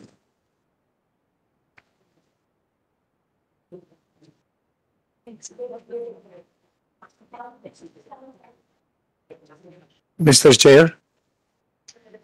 Yes. Ah, Kota ka na. well, ah, pasensya na po. At ah, meron lang akong idadagdag kasi, yung sa insurance, ah, meron ng pa-practice nun, pero hindi lahat. So sana, dito sa Garcia Bill, lahat ng nasa set covered ng insurance. At ah, dahil nga Eddie Garcia, nung na-aksidente si Eddie Garcia sa set, so ah, dapat kasama na rin na merong health team na nasa set all ah, time at merong ambulance na nakistanda. That is what we discussed during the uh, last consultation and we to incorporate this in this uh, proposed bill. Yes, Mr. Chair. Insurance, yung medic, et cetera, et cetera. In safety officer. Yes. Yung safety officer, meron naman yata, no? Eh, Every time na mag-shooting, mag-taping, meron ng, Yes, Mr. Chairman. meron na naka-assign doon? Yes, we already followed it already. Alright. in the DOLE guidelines now. Oh, mas, Yeah, we have. Uh, sorry, sorry. Mr. Chair, may, uh, may, may request yung department ng location managers that we also get insurance before we do location hunting. Kasi eh, eh, anything can happen eh. Dahil the whole day, ano eh. Wag lang sana pag nag-start na yung project. Kasi kawawa naman kami pag kami yung na-aksidente. Uh, respond. Mr. Chair, yes, it's, uh, when we say per project, it's from the start of the project, not from the start of the taping, of the shoot. Including yung sa, ano, sa, Um, yes, sa mga location. because, um, honestly, it's, it is our problem because they go around. So if eh, there's even an accident, it becomes up our, our responsibility as well. So we want the insurance coverage to start from the moment the project is greenlit, which means that from the moment that the location managers start looking for the locations. Thank you. Thank you po. Thank you po. Thank you, Mr. Chair. At least we achieve something. May representative from GMA7 or ABS? GMA7? Yeah, yes, Mr. Chair, um, Attorney O'Seven. Ano lang ah, ah, yung nangyari kay Eddie Garcia, was it a minor accident or a major accident? As, as far, of course, um, sa history po ng safety ng company namin. No, just answer me. Was it a minor or major accident? Of course, it's a major accident. Major accident dahil si Eddie Garcia yun. Uh, Ma? Tama? y- y- Kasi- yes, yeah, Mr. Chair. Ang nangyari kay Tito Eddie, na, ano yun, natisod lang eh. Dahil because maraming mga kable. But that's considered as a minor accident. Kasi pag sa crew lang nangyari yon minor lang yon Dahil si Eddie Garcia ang na natisod, eventually namatay, naging major accident. Tama?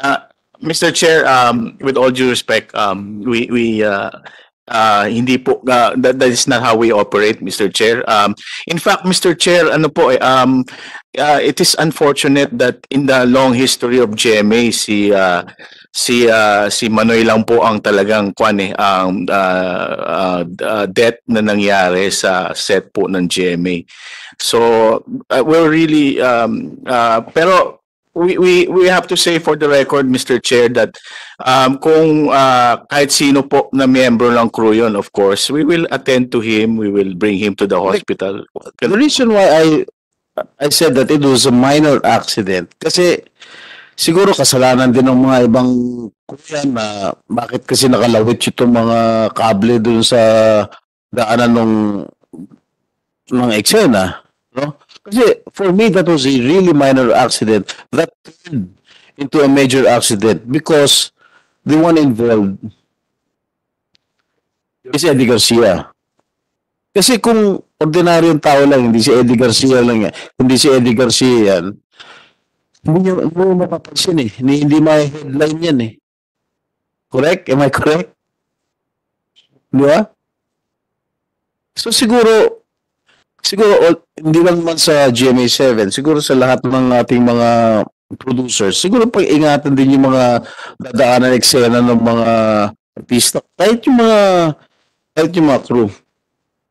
Alright, uh, are there any other uh, inputs that you want to share uh, before this committee, before uh, yes, Percy? Mr. Chairman, uh, we just want to note that we we do recognize uh, all the input of all the the guilds, um, and we still stand by our position that uh, we hope that there will be a technical working group where we can iron out all the details. Uh, because as uh, the other producers have pointed out, we haven't even considered smaller uh smaller i guess complications to our workflow. Like for instance the truck ban that prevents us from bringing production equipment and production design props to the set. So that's actually a, a major consideration when we start the compute the time no? Because the trucks can only travel at a certain time. So that means that the 16 hours if we count it from the first person then it's it's already dictated by when the trucks arrive uh, and then there's also rain, which, as you know, is, is a more unpredictable uh, thing. So I think, uh, Mr. Chairman, to I guess to, to appease everybody, we are more very open to to uh, hearing out all of the all of the input, and we do recognize that ultimately the goal is for the health and safety of everybody. Yes, thank you, uh, Director Percy. We, after this hearing, we, I will uh, instruct the, the committee to listen to a technical work, working group before I submit my committee report. Attorney Ibarra, Jimmy, Yes, sir. mentioned that the Garcia bill is a class legislation. Is it? Uh, we actually, Mr. Chair, uh, our concern, of course, um, um, um, uh, for the record, Your Honor, we, we, we support initiatives to protect workers. We, and um, just for the information of all, um, two days ago, we celebrated the 97th anniversary of the eight-hour working day. Alam po na lahat ng estudyante ng uh, labor law dito that ang ang first attempt to have um, yung pong working hours started 97 years ago when a man called Henry Ford in-institute niya sa, pa, sa pabrika niya na 8 hours lang po ang work. And, and after that, yung legislation came, meaning nauna po ang practice. So, ang our our concern of course uh, Mr. Chair with with some provisions of the of the legislations uh, proposed here is that um gusto po namin yung kwan we, we we we do support the good intentions of legislation na pagbutihin po yung kalagayan ng workers in the entertainment and the media industry.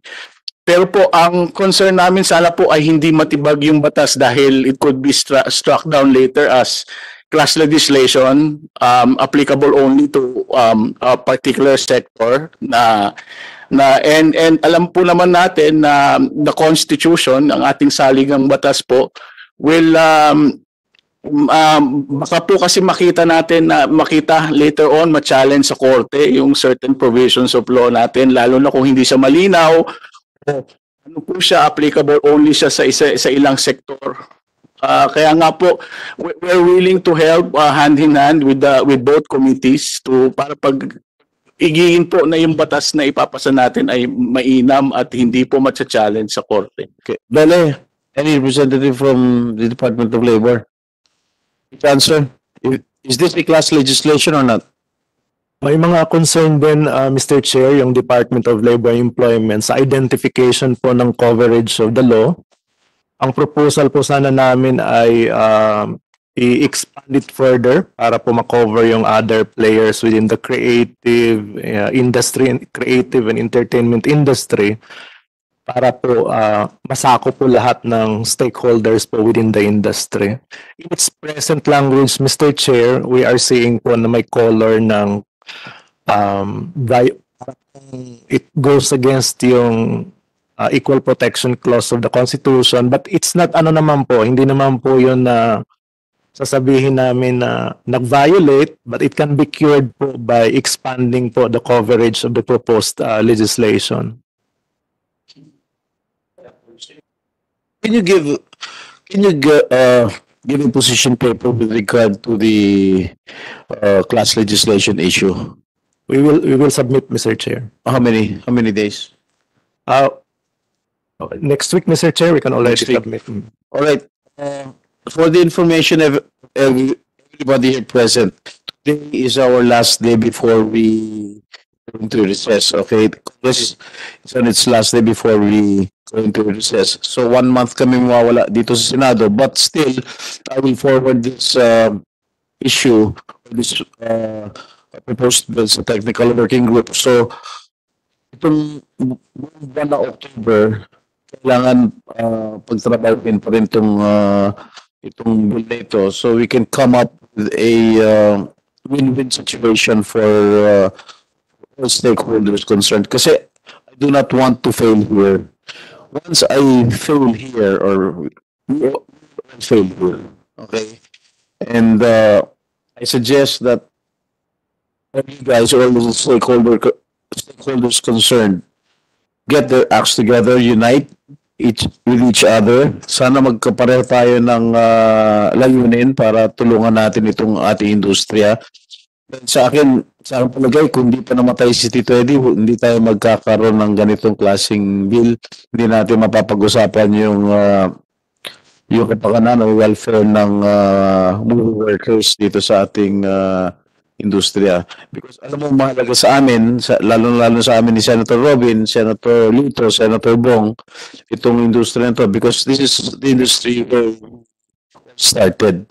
Hindi kami magiging senador siguro kung hindi dahil sa industriya to. Kaya masyadong mahalaga at malapit sa puso namin itong industriya to. Sabi ko nga dito sa akin mga kasamahan, sila Robin, si Lito, tsaka si si Bong, Senator Bong, sabi ko, apat na, ta- apat na kami artista, apat na tayo artista rito, eh, kailangan gumawa tayo ng paraan para ma-uplift yung uh, uh, well, uh, we- uh, welfare and rights ng mga movie workers dito sa ating uh, industriya. So, are there any other inputs that you want to? Yeah, Mr. Chair, Mr. Chair. Yeah. Ah. Sino ba? Ah, direct. Yeah, um, ang concern din namin lang uh, sa DGPI kasi some of our filmmakers are documentary filmmakers, no? And this also goes into the issues that have been raised about coverage of the law. Yung bang ano, uh, I, I- we're just concerned na yung, I mean, our, our position is that sana yung yung safety, medical safety requirement, etc., uh, not be up, uh, made necessary for documentary shoots or back shoots that go on to covering special events that uh, where sit where the situation is not totally within the filmmaker's control, such as covering a Black Nazarene procession, halimbawa, or or some some natural phenomenon like you know a or something, mga ganung yung yung pumuputok. So uh, to uh, ang, ang ang ang what we are requesting is to rethink that that requirement as it applies to documentary documentary shoots or backpack shoots ng mga nagsushoot ng B-rolls. Just so it is not because nga because not everything nga in the in the content that is being covered is within the control of the it, it is basically a coverage eh. it's not making an event. It's covering something that is beyond the filmmaker's control that's one no the other thing then uh, Mr. Chair is we are uh, we would suggest lang we would we recommend uh, removing student films from, uh, from the coverage of this law uh, and leave the, the universities and colleges and schools that do uh, that do uh, that you know that teach film or, or television or whatever to come up with their own policies kasi uh, the budgets definitely uh, necessarily of the student filmmakers are much much much lower than commercial filmmaking which is what is the you know yun naman at saka commercial television to commercial media making that is basically what we're discussing here. So yung student filmmakers sana are, are taken out of the coverage of this law. So those two things lang. Okay, thank you. Uh, before that, nakalimutan na, nakalimutan ko i-discuss sa inyo yung tungkol sa mga senior citizens na mga artista. Are they still covered with these 16-hour working uh, working hours? Kasi meron tayong batas doon. Am I correct? Na ilan hours yung senior citizen na pwede magtrabaho? Uh, Mr. Chair, it's eight hours for senior citizens and four hours for children. We're Children, four hours. So eight hours maximum sa senior senior citizen. citizens. Eh, paano si Tirso Cruz pagka ano? Hindi ka. Hindi nga. Thank you, Mr. eight Chair. hours. Hindi. Mr. I'm- Chair. I'm also a member of the, ano, ano, senior na rin ako. Kunwari, ako may, may pelikula ako. Director. ano susundin ko? Yung 8 hours o 16 hours? Actually, that is a problem for us also kasi Oh. it's not the actors, also the directors too. O paano? With our senior na. senior. Kaya na, ano susundin natin? Yung 8 hours under the law o 16 hours na pinropose, pinropose natin? Oh, Mr. Chair. Mr. Mr. Chair, kami ang uh, we discussed this ang ano uh, sa amin uh, you know 12 hours for senior citizens pero uh, if the senior citizen writes a waiver then he can go uh, then he, then he he should be allowed to work between 12 and 16 hours maximum. the children, 4 hours? Sa children, Minors. yeah. Let's just stick to the dole sa children. Merong dole 4 hours yata sa children. Ano ba ano natin? Ang dalo? There is an existing law, Mr. Chair, on working hours of children. For those under 15, hours po, maximum of 20. For 15 to 18, maximum of 40, but 8 hours per day. Alright. Yes. Ah, yun lang yun. Ah, ah, yung mga senior citizen, pwede sila magtrabaho more than 8 hours basta magsasign sila ng waiver. Every time na nasa set, magsasign ng waiver? Ganon? Ah, kasi if we, kunwari, nasa batas na six, maximum of 16 hours, ang trabaho, director, artista, mga senior citizen, ano nga susundin natin? Mr. Chairman, possible yung, yung nasa batas na 8 hours? Okay, Mr. Chairman, kailangan kasi ah nakalagay dun sa House version, magkikreate ng tripartite na mag-discuss dun sa mga detalye. So I I also expect yung Senate version dapat magkaroon din ng ah, kailangan mag-create ng tripartite council to discuss the details of all the yung ah, batas na naipasa. Or is it possible for us to discuss it right now? Why are we going to put put under the law the tripartite council? Doon pa lang pag ano, doon pa lang di-discuss na ano, anong mangyayari sa mga senior citizen kung kung ilang oras sila magtatrabaho. I don't get that logic. Yeah. May, may, Yes. okay.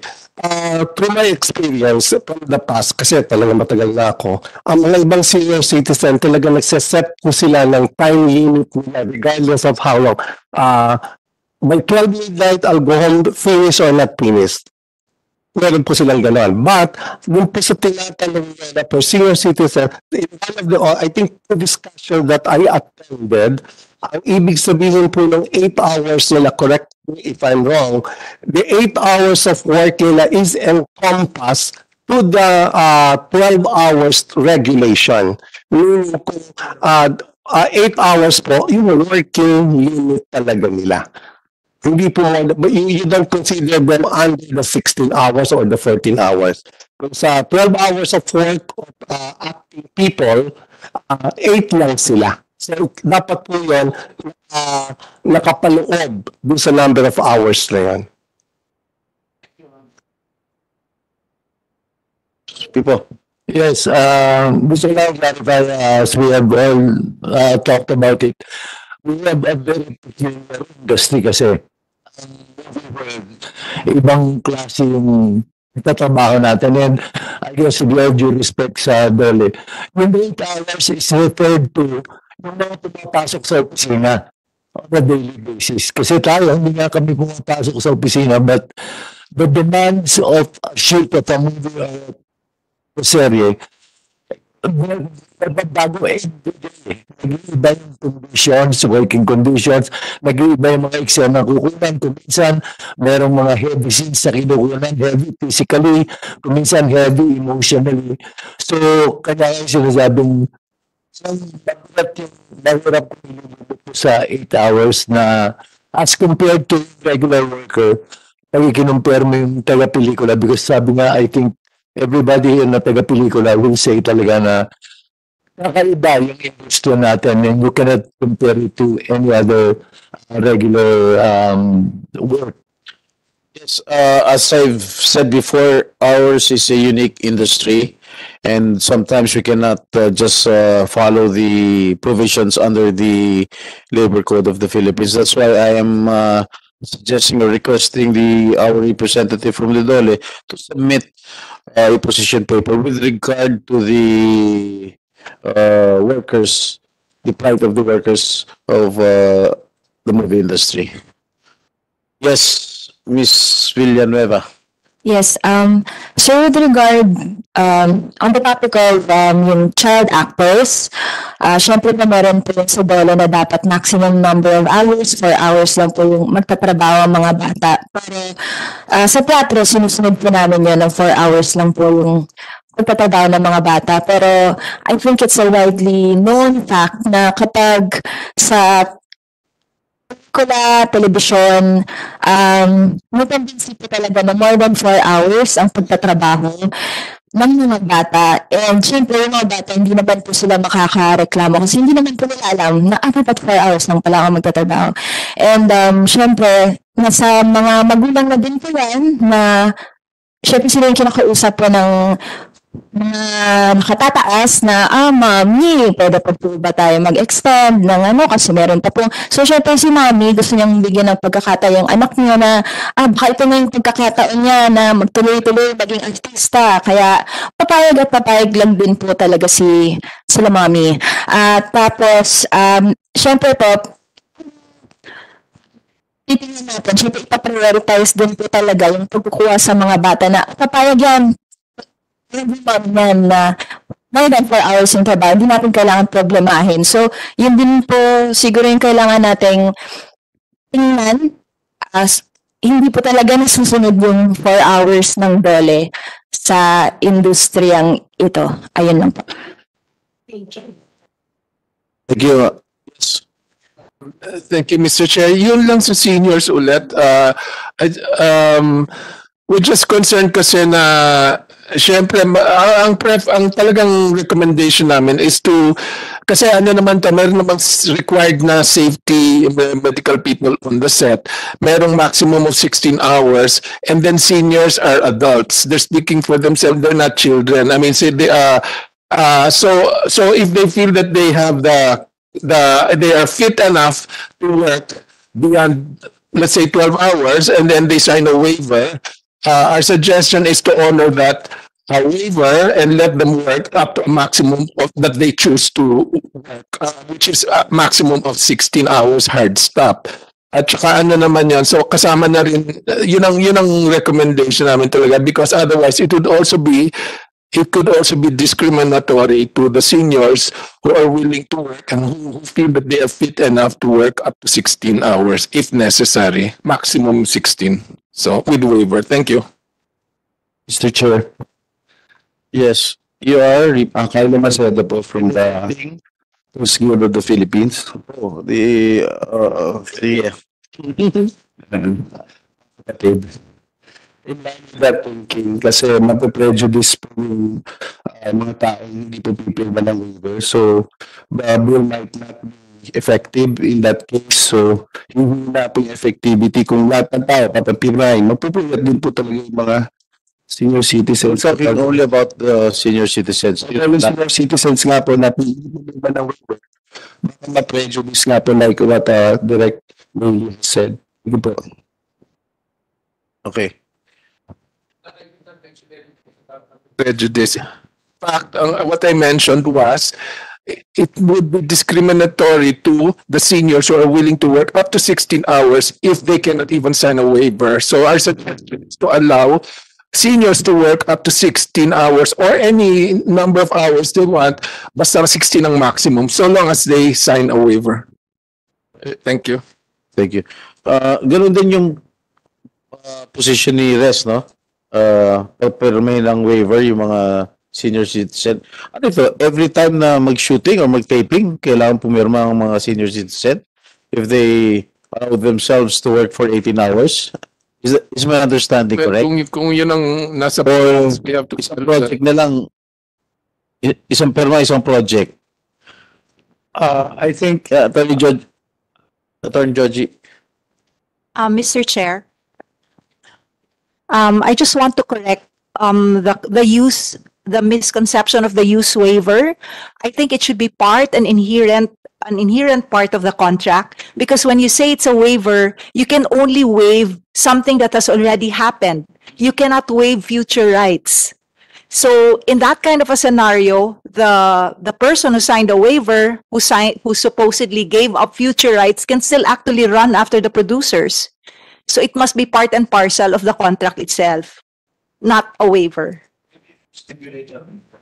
Maybe you can stipulate that in the contract. Am I correct?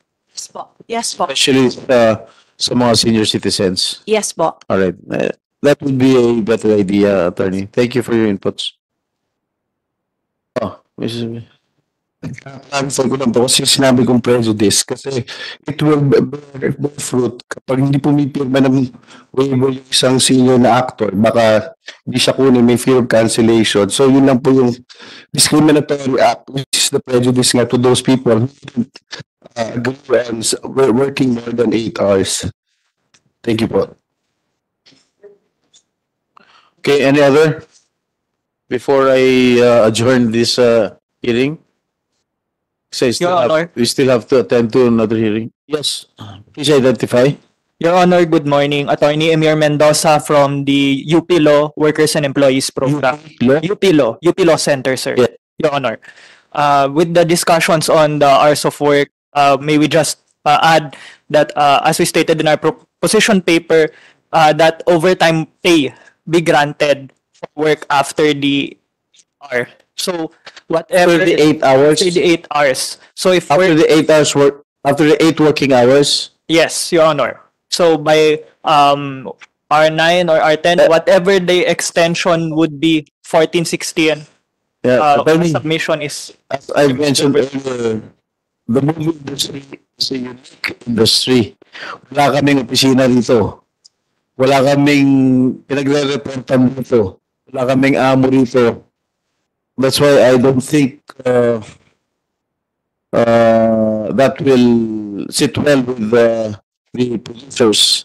May, may get your comments uh, with regard to the statement of attorney? No, um, uh, you're, you're right, uh, Mr. Chair, and with all due respect, we also talking about, rates that are much higher than minimum wage. So it's it's already built in, in a way that we know that ours are longer. Uh, that's why our industry is, is par- particular in that sense. Tony, I hope you understand, no? Kasi kami nung sa pelikula, naintindihan namin, iba yung industriya namin. Wala kaming ano, wala kaming amo dito, wala kaming pinagre-reportan, wala kaming opisina dito. Uh, I'm talking about the actors, ha? And the actors as well.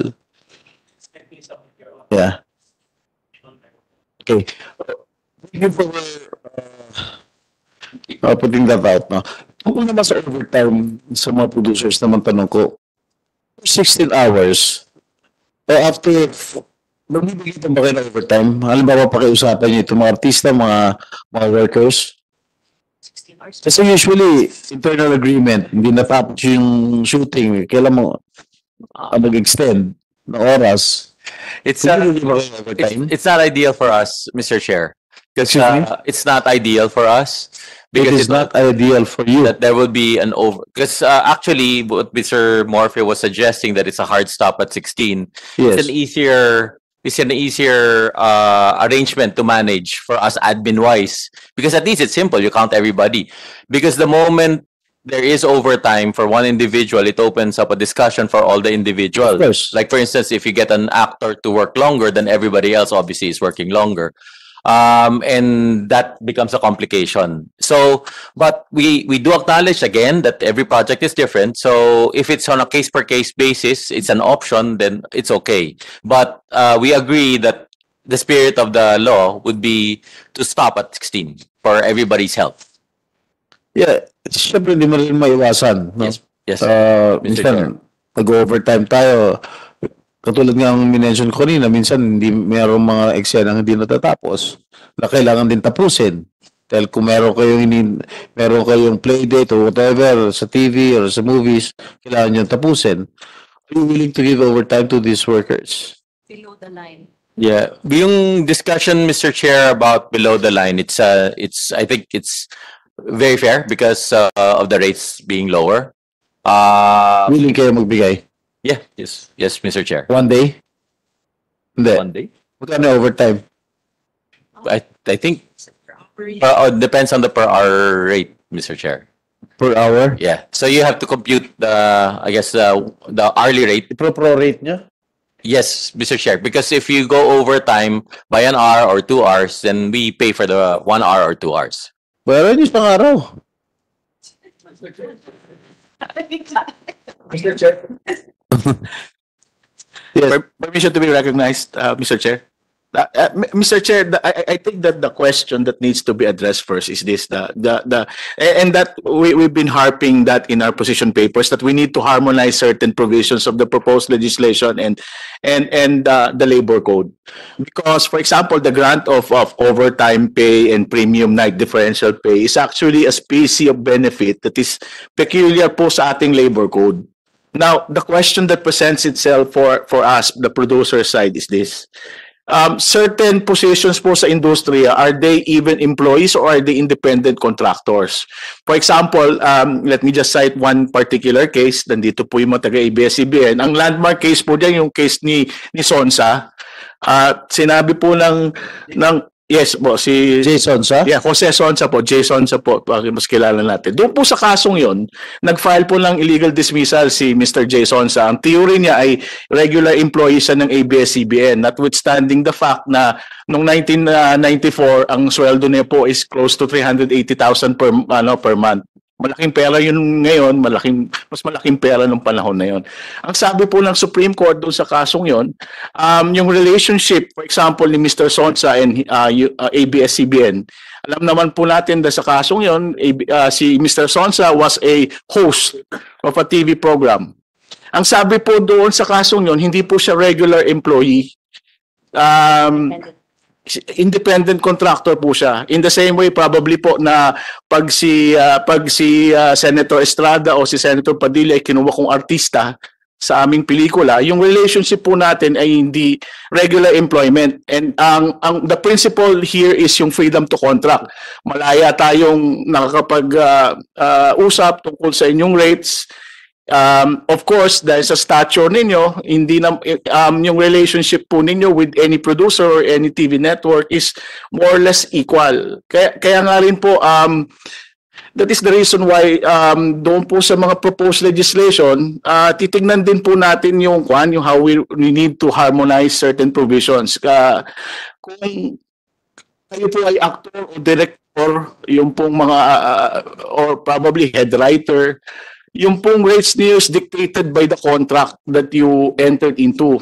Pero kaya nga po ang hirap for example, gawan ng tiering na magbibigyan pa ng uh, overtime pay ang isang aktor na ang rate niya is 350,000 per taping day. So magko-compute pa po tayo dyan, magmamat pa tayo. Um, or bibigyan pa po natin siya ng night differential because uh, from our stand uh, ng mga producers and, and, and TV network, yung pong um, rate that has been determined by contract is the the rate for that particular taping day or for that particular shooting day, kung ganun po yung rate. O minsan nga po sa pelikula, project rate. Kabuuan ng project, ito yung ibabayad. Yun lang po, um, Mr. Chair. Thank you, attorney. Meron pa? Ah. Uh, yan, kakota ka na, mamaya ka na. si, Hello, sir. Uh, good morning. I'm Mark Mariana from Associated Trade Chambers of the Philippines. Uh, actually, um, nag, um, gusto ko sana na mag-react from yung mga napagkasunduan yung last, uh, yung last hearing, like in the 14 hours. Uh, actually, yung pinaka fundamental dito sa nakikita namin si um, di, di ba nga advocacy bilang tinatawag nito, no? So if we are to address yung pinaka-issue dito na yung um, the hazards that led to his death. We have to, um, sticking to the same, same 16 hours would cut it. I mean, I remember when I was working in industry, 16 hours is the minimum time that uh, I would work in. Uh, actually, 12 hours, mabilis pag sa, ano, pag sa uh, documentaries. Yun yung pinakamabilis ko. Pero 16 hours is minimum. Actually, ang typical nga, nakikita ko 24. Pero nakikita po namin still not credible. So you have to address the fundamental issues na kaya nga kailangan pag-usapan nyo aside from yung occupational health issues, kailangan pag-usapan mo yung security of tenure issues kasi it leads to that, di ba? Kasi kaya mo naman kahit dito sa sa ano, ABC test of uh, control test para sa employment uh, based on sa California sa uh, legislation nila doon. Ah, yung isa naman sinasuggest na namin yung, yung napagkasundo ang 14 hours last time is uh, pwede gawin na plan na may scaled na na kung wala every 2 years, binabawasan 13 hours, tapos 12 hours, pang workflow ng lahat na i-address na na unti-unti na sa lahat para mapunta sa 12. Dahil kasi nga, ang issue dito is maging norm eh. Makumbaga yung with the rest of the, uh, the legislation. As it is yung 12 hours na yan, maximum, pinag-usapan natin maximum. Actually, with sa sa business practices, yun yung standard eh. The actual standard should be 8. So, as it is, pinag-usapan na yun eh. So, if we want to address yung, ano, the thing, that, the, the hazards that led to yung, yung, yung landmark case na kay uh, Mr. Garcia is, kailangan talaga i-address yung issues na. Otherwise, same old, same old, and expecting results. Wala nangyari dyan. I'm, I'm glad na wala nang decision to RA 1152 eh. Nagpapis na nagkausap, nagkakaulila na. Because of the pandemic na, yung civil life yan. Nasabi lahat ng unti-unti mo. Okay, natin 14. Okay. Why not going puntag doon sa ano sa better uh, uh, working conditions for all. Kasi ang pinag-usapan naman namin dito so, yung yung test na ano eh, yung balance in the total term. Whereas if you, okay, the creative part, okay yan, naintindihan namin yan, na uh, yung creative effort takes time. And uh, siyempre, those at the top, mas may power sila, mas may bargaining power. Mas kaya mo lang yung, yung, yung rest days accounted for. Pero yung araw, gawin mo araw-araw mo, kaya. Kaya nga meron yung ano, ba yung pinalabas na yun, 8 hours, uh, sinasabi ko tayo ng work balance, 8 hours rest, 8 hours uh, work, and 8 hours to do as you yung family time, education time. Kaya may, may, balance yung tinatawag mo because it's a universal. Kasama nga sa sinabi mo naman kahit yung potential protection. So, na kunyari, sinasuggest namin is uh, uh, an industry-wide, uh, something like uh, good training society does it with their 20 workers. Meron silang uh, fund na kung saan i-contribute partly ng gobyerno. Yung, guys, di ba, yung, yung SSS, regular employment, 50% is yours, uh, yung employee, 50% is the employer.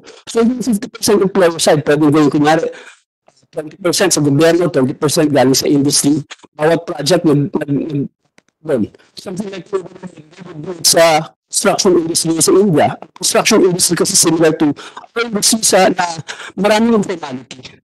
So, marami pa kasi mga models na kasi nga, that's when sa social protection, si may ano so, sustainable development inaabot tayo, ibubukin natin So, saan i-address na naman ito mga bagay? It's, it's fundamental. And we're glad na it's being addressed. Thank you, uh, Thank you, Mr. Mark Villana. Okay, uh, we will have to do this, uh, no, uh, faster. Yes. Ah, yes. Um, good morning, Mr. Chair. Thank you. Um, Benjamin Alvera po from the... No. Sorry. Sino ba? Benjamin Alvera po from the Sentro ng mga Nagkakaisa at Progresibong Manggagawa. Haba na Sentro pangalan. Nagkakaisang? Mga Nagkakaisa at Progresibong Manggagawa. Sorry, haba ng pangalan. So we represent workers in the public and private sector including po dito sa broadcast through uh, the NABU, the National Alliance of Broadcast Unions. So affiliate po namin sila.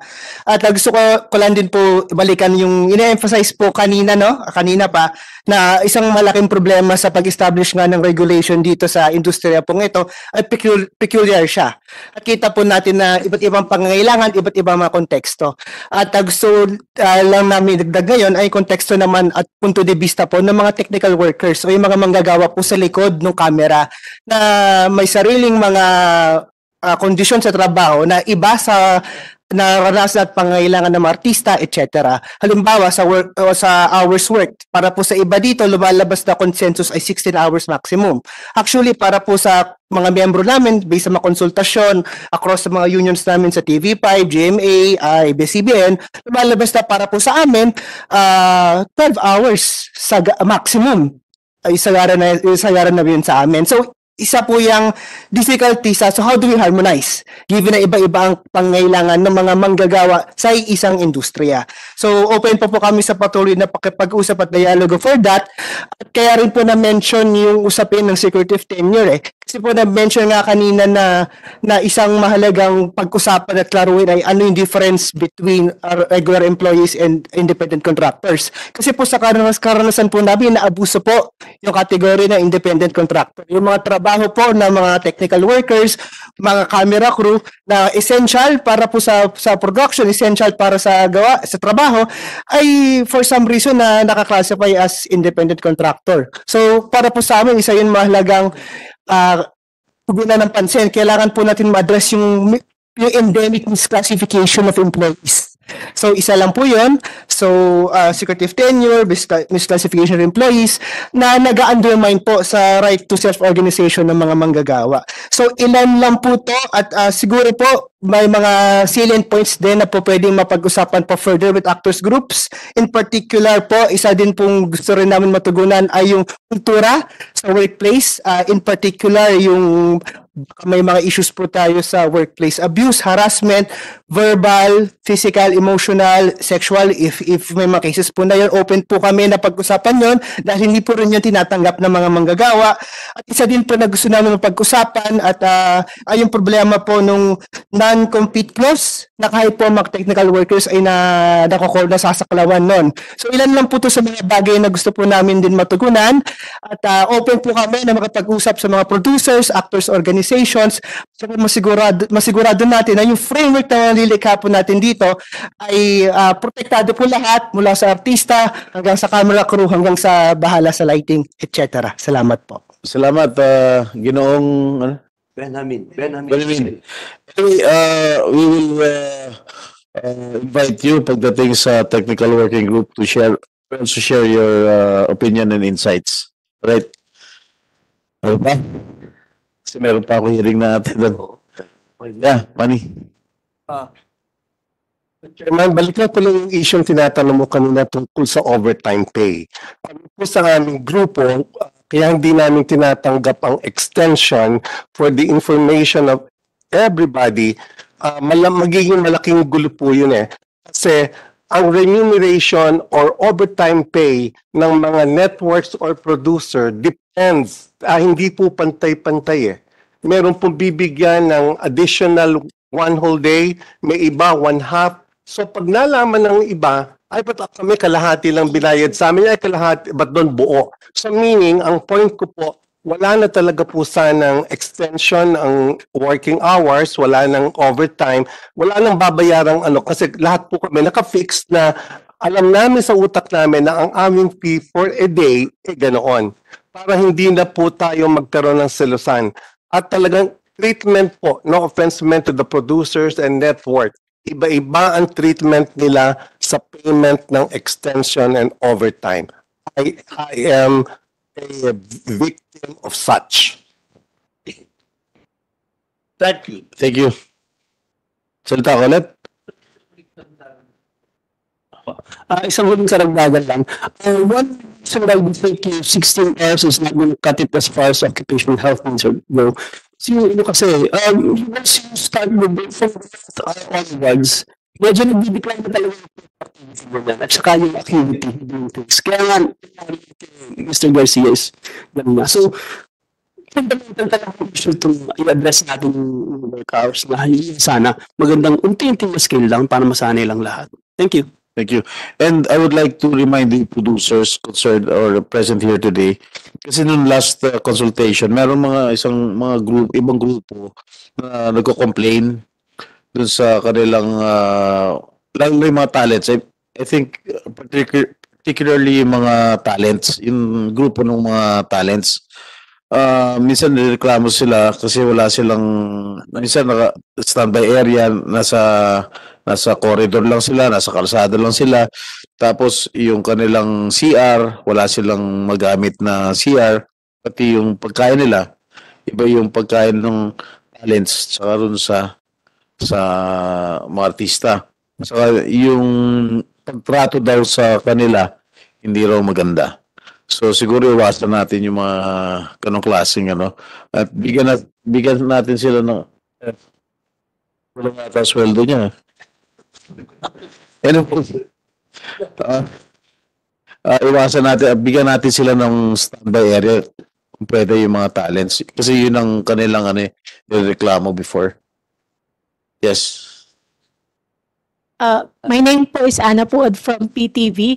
But uh, gusto ko lang pong ibigay yung aking personal opinion kasi uh, yung ibang mga nire-raise po ng mga uh, resource person, I think po mas dapat ang i-push po natin yung legislation para sa mga manggagawa po sa broadcast uh, and news media kasi baka nakakalito po doon sa industriya nila dahil iba po talaga yung nature ng mga nasa film industry. So, kung ako po ay uh, yun pong mas gusto ko pong idulog sa inyo na kung mayroon po kayong pending bill para naman po sa uh, benepisyo po sa welfare ng mga journalist at mga nasa media po, eh, yun po yung gusto naming i-push at baka sa separate na hearing o ibang pag-uusap po, doon po I natin. think during the last hearing, we already tackled the my, my other bill, major uh, major workers welfare act.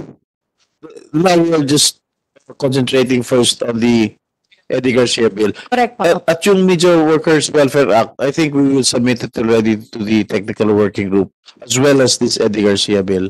Correct po, Senator. Para lang po dun sa kaalaman po ng mga kasama namin kasi yung iba pong sinusulong nila ay mas bagay po doon po natin mabring up para hindi po tayo makasama na sa ah, komplikasyon po nung ginagawa po dito sa bill po para sa mga nasa film industry. All right. Thank you. Uh, Uh, Mr. Chair?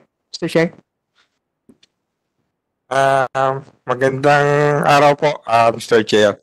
Ah, yung pong tinutukoy ni Miss Ana po po, ah, yun po kasi kami po, naniniwala kami sa broadcast na yung film at yung sa television ay hindi na po nagkakalayo. Ay, ah, katunayan po, yung aksidente na nangyari sa ating sa mahal natin si Eddie Garcia ay ayun po ay programa sa television po. So, sa ngayon po, yung yung plataforma na nilalabasan ng ng movie tsaka television ay isang na rin po sa mga mga video streaming. Ah, yun po, ah, kaya kaya naniniwala po kami na ah, sa aming nga pong posisyon, ah, gusto namin pong i-merge yung batas dito sa Eddie Garcia Law at sa Media and Entertainment ah, Workers Welfare Act. Yun lamang po. Maraming salamat. Okay, salamat. Uh, before we adjourn, I think uh, Senator Robin has something to say. kanyang closing remark. Maraming salamat po, ah, Chairman. Gusto ko lamang po ah, malaman ng lahat ng pinag-usapan po natin ng Eddie Garcia bill. Nag-shooting ako, Chairman. Sinubukan ko yung uh, 10 hours. Sa tulong po ng mga uh, profesional ng mga tao, nagawa namin ng 12 hours. Ah, action. Opo, action. Hard action. Ah, nagpasabog pa kami ng truck. 12 hours pagka-grind. Oh, yung grind, yung grind. Bali, all in all, 14 hours. Ah, yung travel, punta doon, preparation. Kasi nung expire kami, dahil uh, Direct Coco Martin. Kasi nung nakausap natin si Direct Coco Martin, sinabi niya nagagawa nila ng 12 hours. Nung una, hindi ako makapaniwala. Sabi ko, parang binabola yata ako ni Coco. Ah. Kaya ang ginawa ko, nag-shooting ako. Ginawa ko ng mga tao niya ah, sa Batang Quiapo. Nagawa namin. Pero hard action to. ah. It's doable. Doable. Doable. Oo, na, na, pati pagkain, sinubukan namin. Yun lang yung pagkain ng chairman, sinubukan namin ng 150. Medyo hindi masaya yung mga tao sa 150. Sinubukan namin yung 250. Masayang masaya yung mga tao sa 250. Kasi yung 150, ah, parang tawag doon, parang, ano ba, styro. Nasa styro. Ah, Paklat. Yung 215, di ba paklat? Tuturing. Ah, okay. Ikot yung mga tao, ah, unlimited rice, oh, pwede siyang gano'n. At pinupukan din namin, may merienda. Masaya masaya sila, may merienda. Sinubukan din namin, anong tawag doon, yung binibigay lang pera. Allowance? Allowance. Hindi na naman. So, sinubukan din namin yun kasi magpapakap kami ng alas 6. Sinubukan namin binibigyan ng pera. Kaya din sila doon kasi dala na naman yung pera. O kaya ang ano sana namin, ang, ang punto ko, ah, Chairman, kung gusto natin talaga matapos ng 12 hours, kaya. Kaya. Kasi kami, hindi naman kami nagkaroon ng preparasyon na isang linggo. Nasa pre-prod lang muna. Nasa pre-prod talaga. Yung, uh, ano, yung uh, uh, sikreto. Kaya yun lang po, uh, Chairman, gusto ko lang po magpasalamat sa dalawang artista. Senator Robin, hindi lang siguro sa pre-prod. Kasi ang uh, nireklamo rin, ang in- ininom kaya rin ni Direk Coco when we talked to him uh, two weeks ago. Kasi pagdating sa set, minsan mas matagal yung chismisan, yung kwentuhan, yung mga marites-marites dyan. So, naiiwasan, uh, siguro, siguro sa set niya, naiiwasan yung mga kwentuhan, yung mga chismisan pagdating sa set. Kaya pagdating sa set, trabaho ka agad. Tama po. Kaya yan po ang ginawa namin, Chairman. Wala mo nang kwentuhan doon talagang trabaho lang. Ah, kaya po, ah, Chairman, po lamang pasalamat sa dalawang artista na nagpunta dito. Ah, kay Mr. Dingdong Dantes, saka kay Miss Isa Calzado, at sa lahat po, siyempre, ng mga artista at taga-pelikula. Special mention ko lang sila kasi sa totoo lang po, sa kultura ng pelikulang Pilipino, mahalaga yung bida. Kapag yung bida ang nag-umpisa ng mga katulad ng mga ganitong uh, killers, pag-killers, nakiisa yung bida doon sa mga maliliit na tinatawag po namin, yung mga crew, nakiisa din yung bida, kikinig ang producer. Yan ah. Ewan ko yun, sa panahon nila nila. Pero sa panahon ko namin, kapag ka nagreklamo kasi yung artista na sinasabi ng bida, yung pagkain naman, ayusin naman yung pagkain. Nakikinig yung producer. Kapag sinabi ng bida sa producer na well, isa't kalahating araw na po kaming nag-taping, baka pwede naman po bigyan naman ninyo ng uh, overtime yung mga tao, nakikinig ang mga producer. Kaya napakahalaga po sa ganitong usapin, nakasama natin yung mga bida. Katulad nila Coco Martin, katulad po nila Bimber Dante, sila Miss uh, Isa Calzado, kasama natin dito. Kaya sana po, mas marami pa, mas marami pa na mga bida ang sumama sa atin sa ganitong usapin para may boses. May influence. May, may boses. Maliliit. Kasi katulad po kasama natin sa ABS-CBN, dati kami lang. Nabash pa ako ng kanilang kanan na hindi ko na alam saan ko ilalagay yung ulo ko ng panahon na yun. Pero, tagumpay naman kami. Kaya sana, ah, mas marami pa, ah, Chairman, ang tumayo para sa usapin na to. At kung naman po sa Dole, eh, binabilihan ako kay Dole, ah, uh, share, ba po talaga ang, ah, ang environment sa ng Pilipino sa television at ganun din sa media. Ah, iba po talaga. Ah, hindi siya maikumpara sa ibang ah, trabaho. Ah, sa amin, eh, hindi lang ano, eh, hindi lang lakas ng talino, hindi lang, lang ganun ang, ang ano, ang ulan po namin sa trabaho ito. Ang at emosyon, lahat nandun na. Kaya iba po talaga ang ah, aming industriya. Yun po, maraming salamat po sa inyong lahat. Maraming salamat, Chairman. Thank you, uh, Senator Robin. Again, I would like to encourage uh, all stakeholders concerned to please be united as one. And uh, I will, we will have another consultation probably by November when I submit my committee report uh, before the uh, plenary sa sa- dito sa Senate. And uh, I do not want here. I want a win-win solution for everybody. Because what I said earlier, pag ito naging basura itong batas na ito, lahat tayo babagsak dito sa industry nito. That's why I want to seek all your inputs, uh, your opinion para magkaroon tayo ng isang uh, batas na pakikinabangan ng lahat ng ng movie workers dito sa ating bansa. Kasi alam ko yung ating uh, movie industry is already kumbaga on a downtrend. Matagal na tayo nasa downtrend and I really really want to help uh, the movie industry uh, of course, as uh, your senators, talagang namin, talagang gusto namin talagang bigyan ng buhay, bigyan ng sigla muli ang uh, industriya ng pelikulang Pilipino.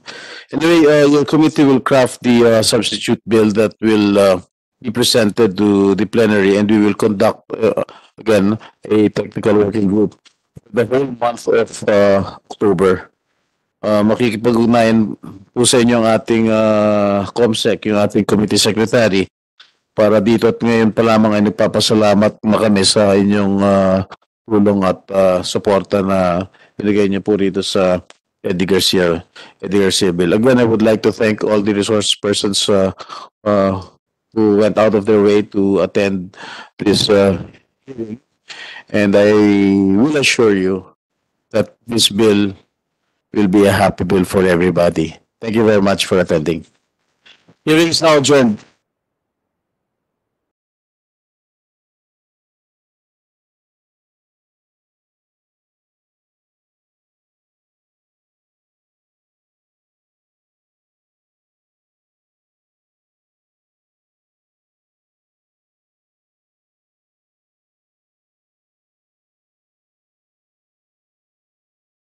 Anybody who wishes to make an opening statement? Uh, Mr. Dingdong Dantes. Uh, magandang umaga po, Chairman Estrada and the esteemed members of the committee, um, Senator Padilla.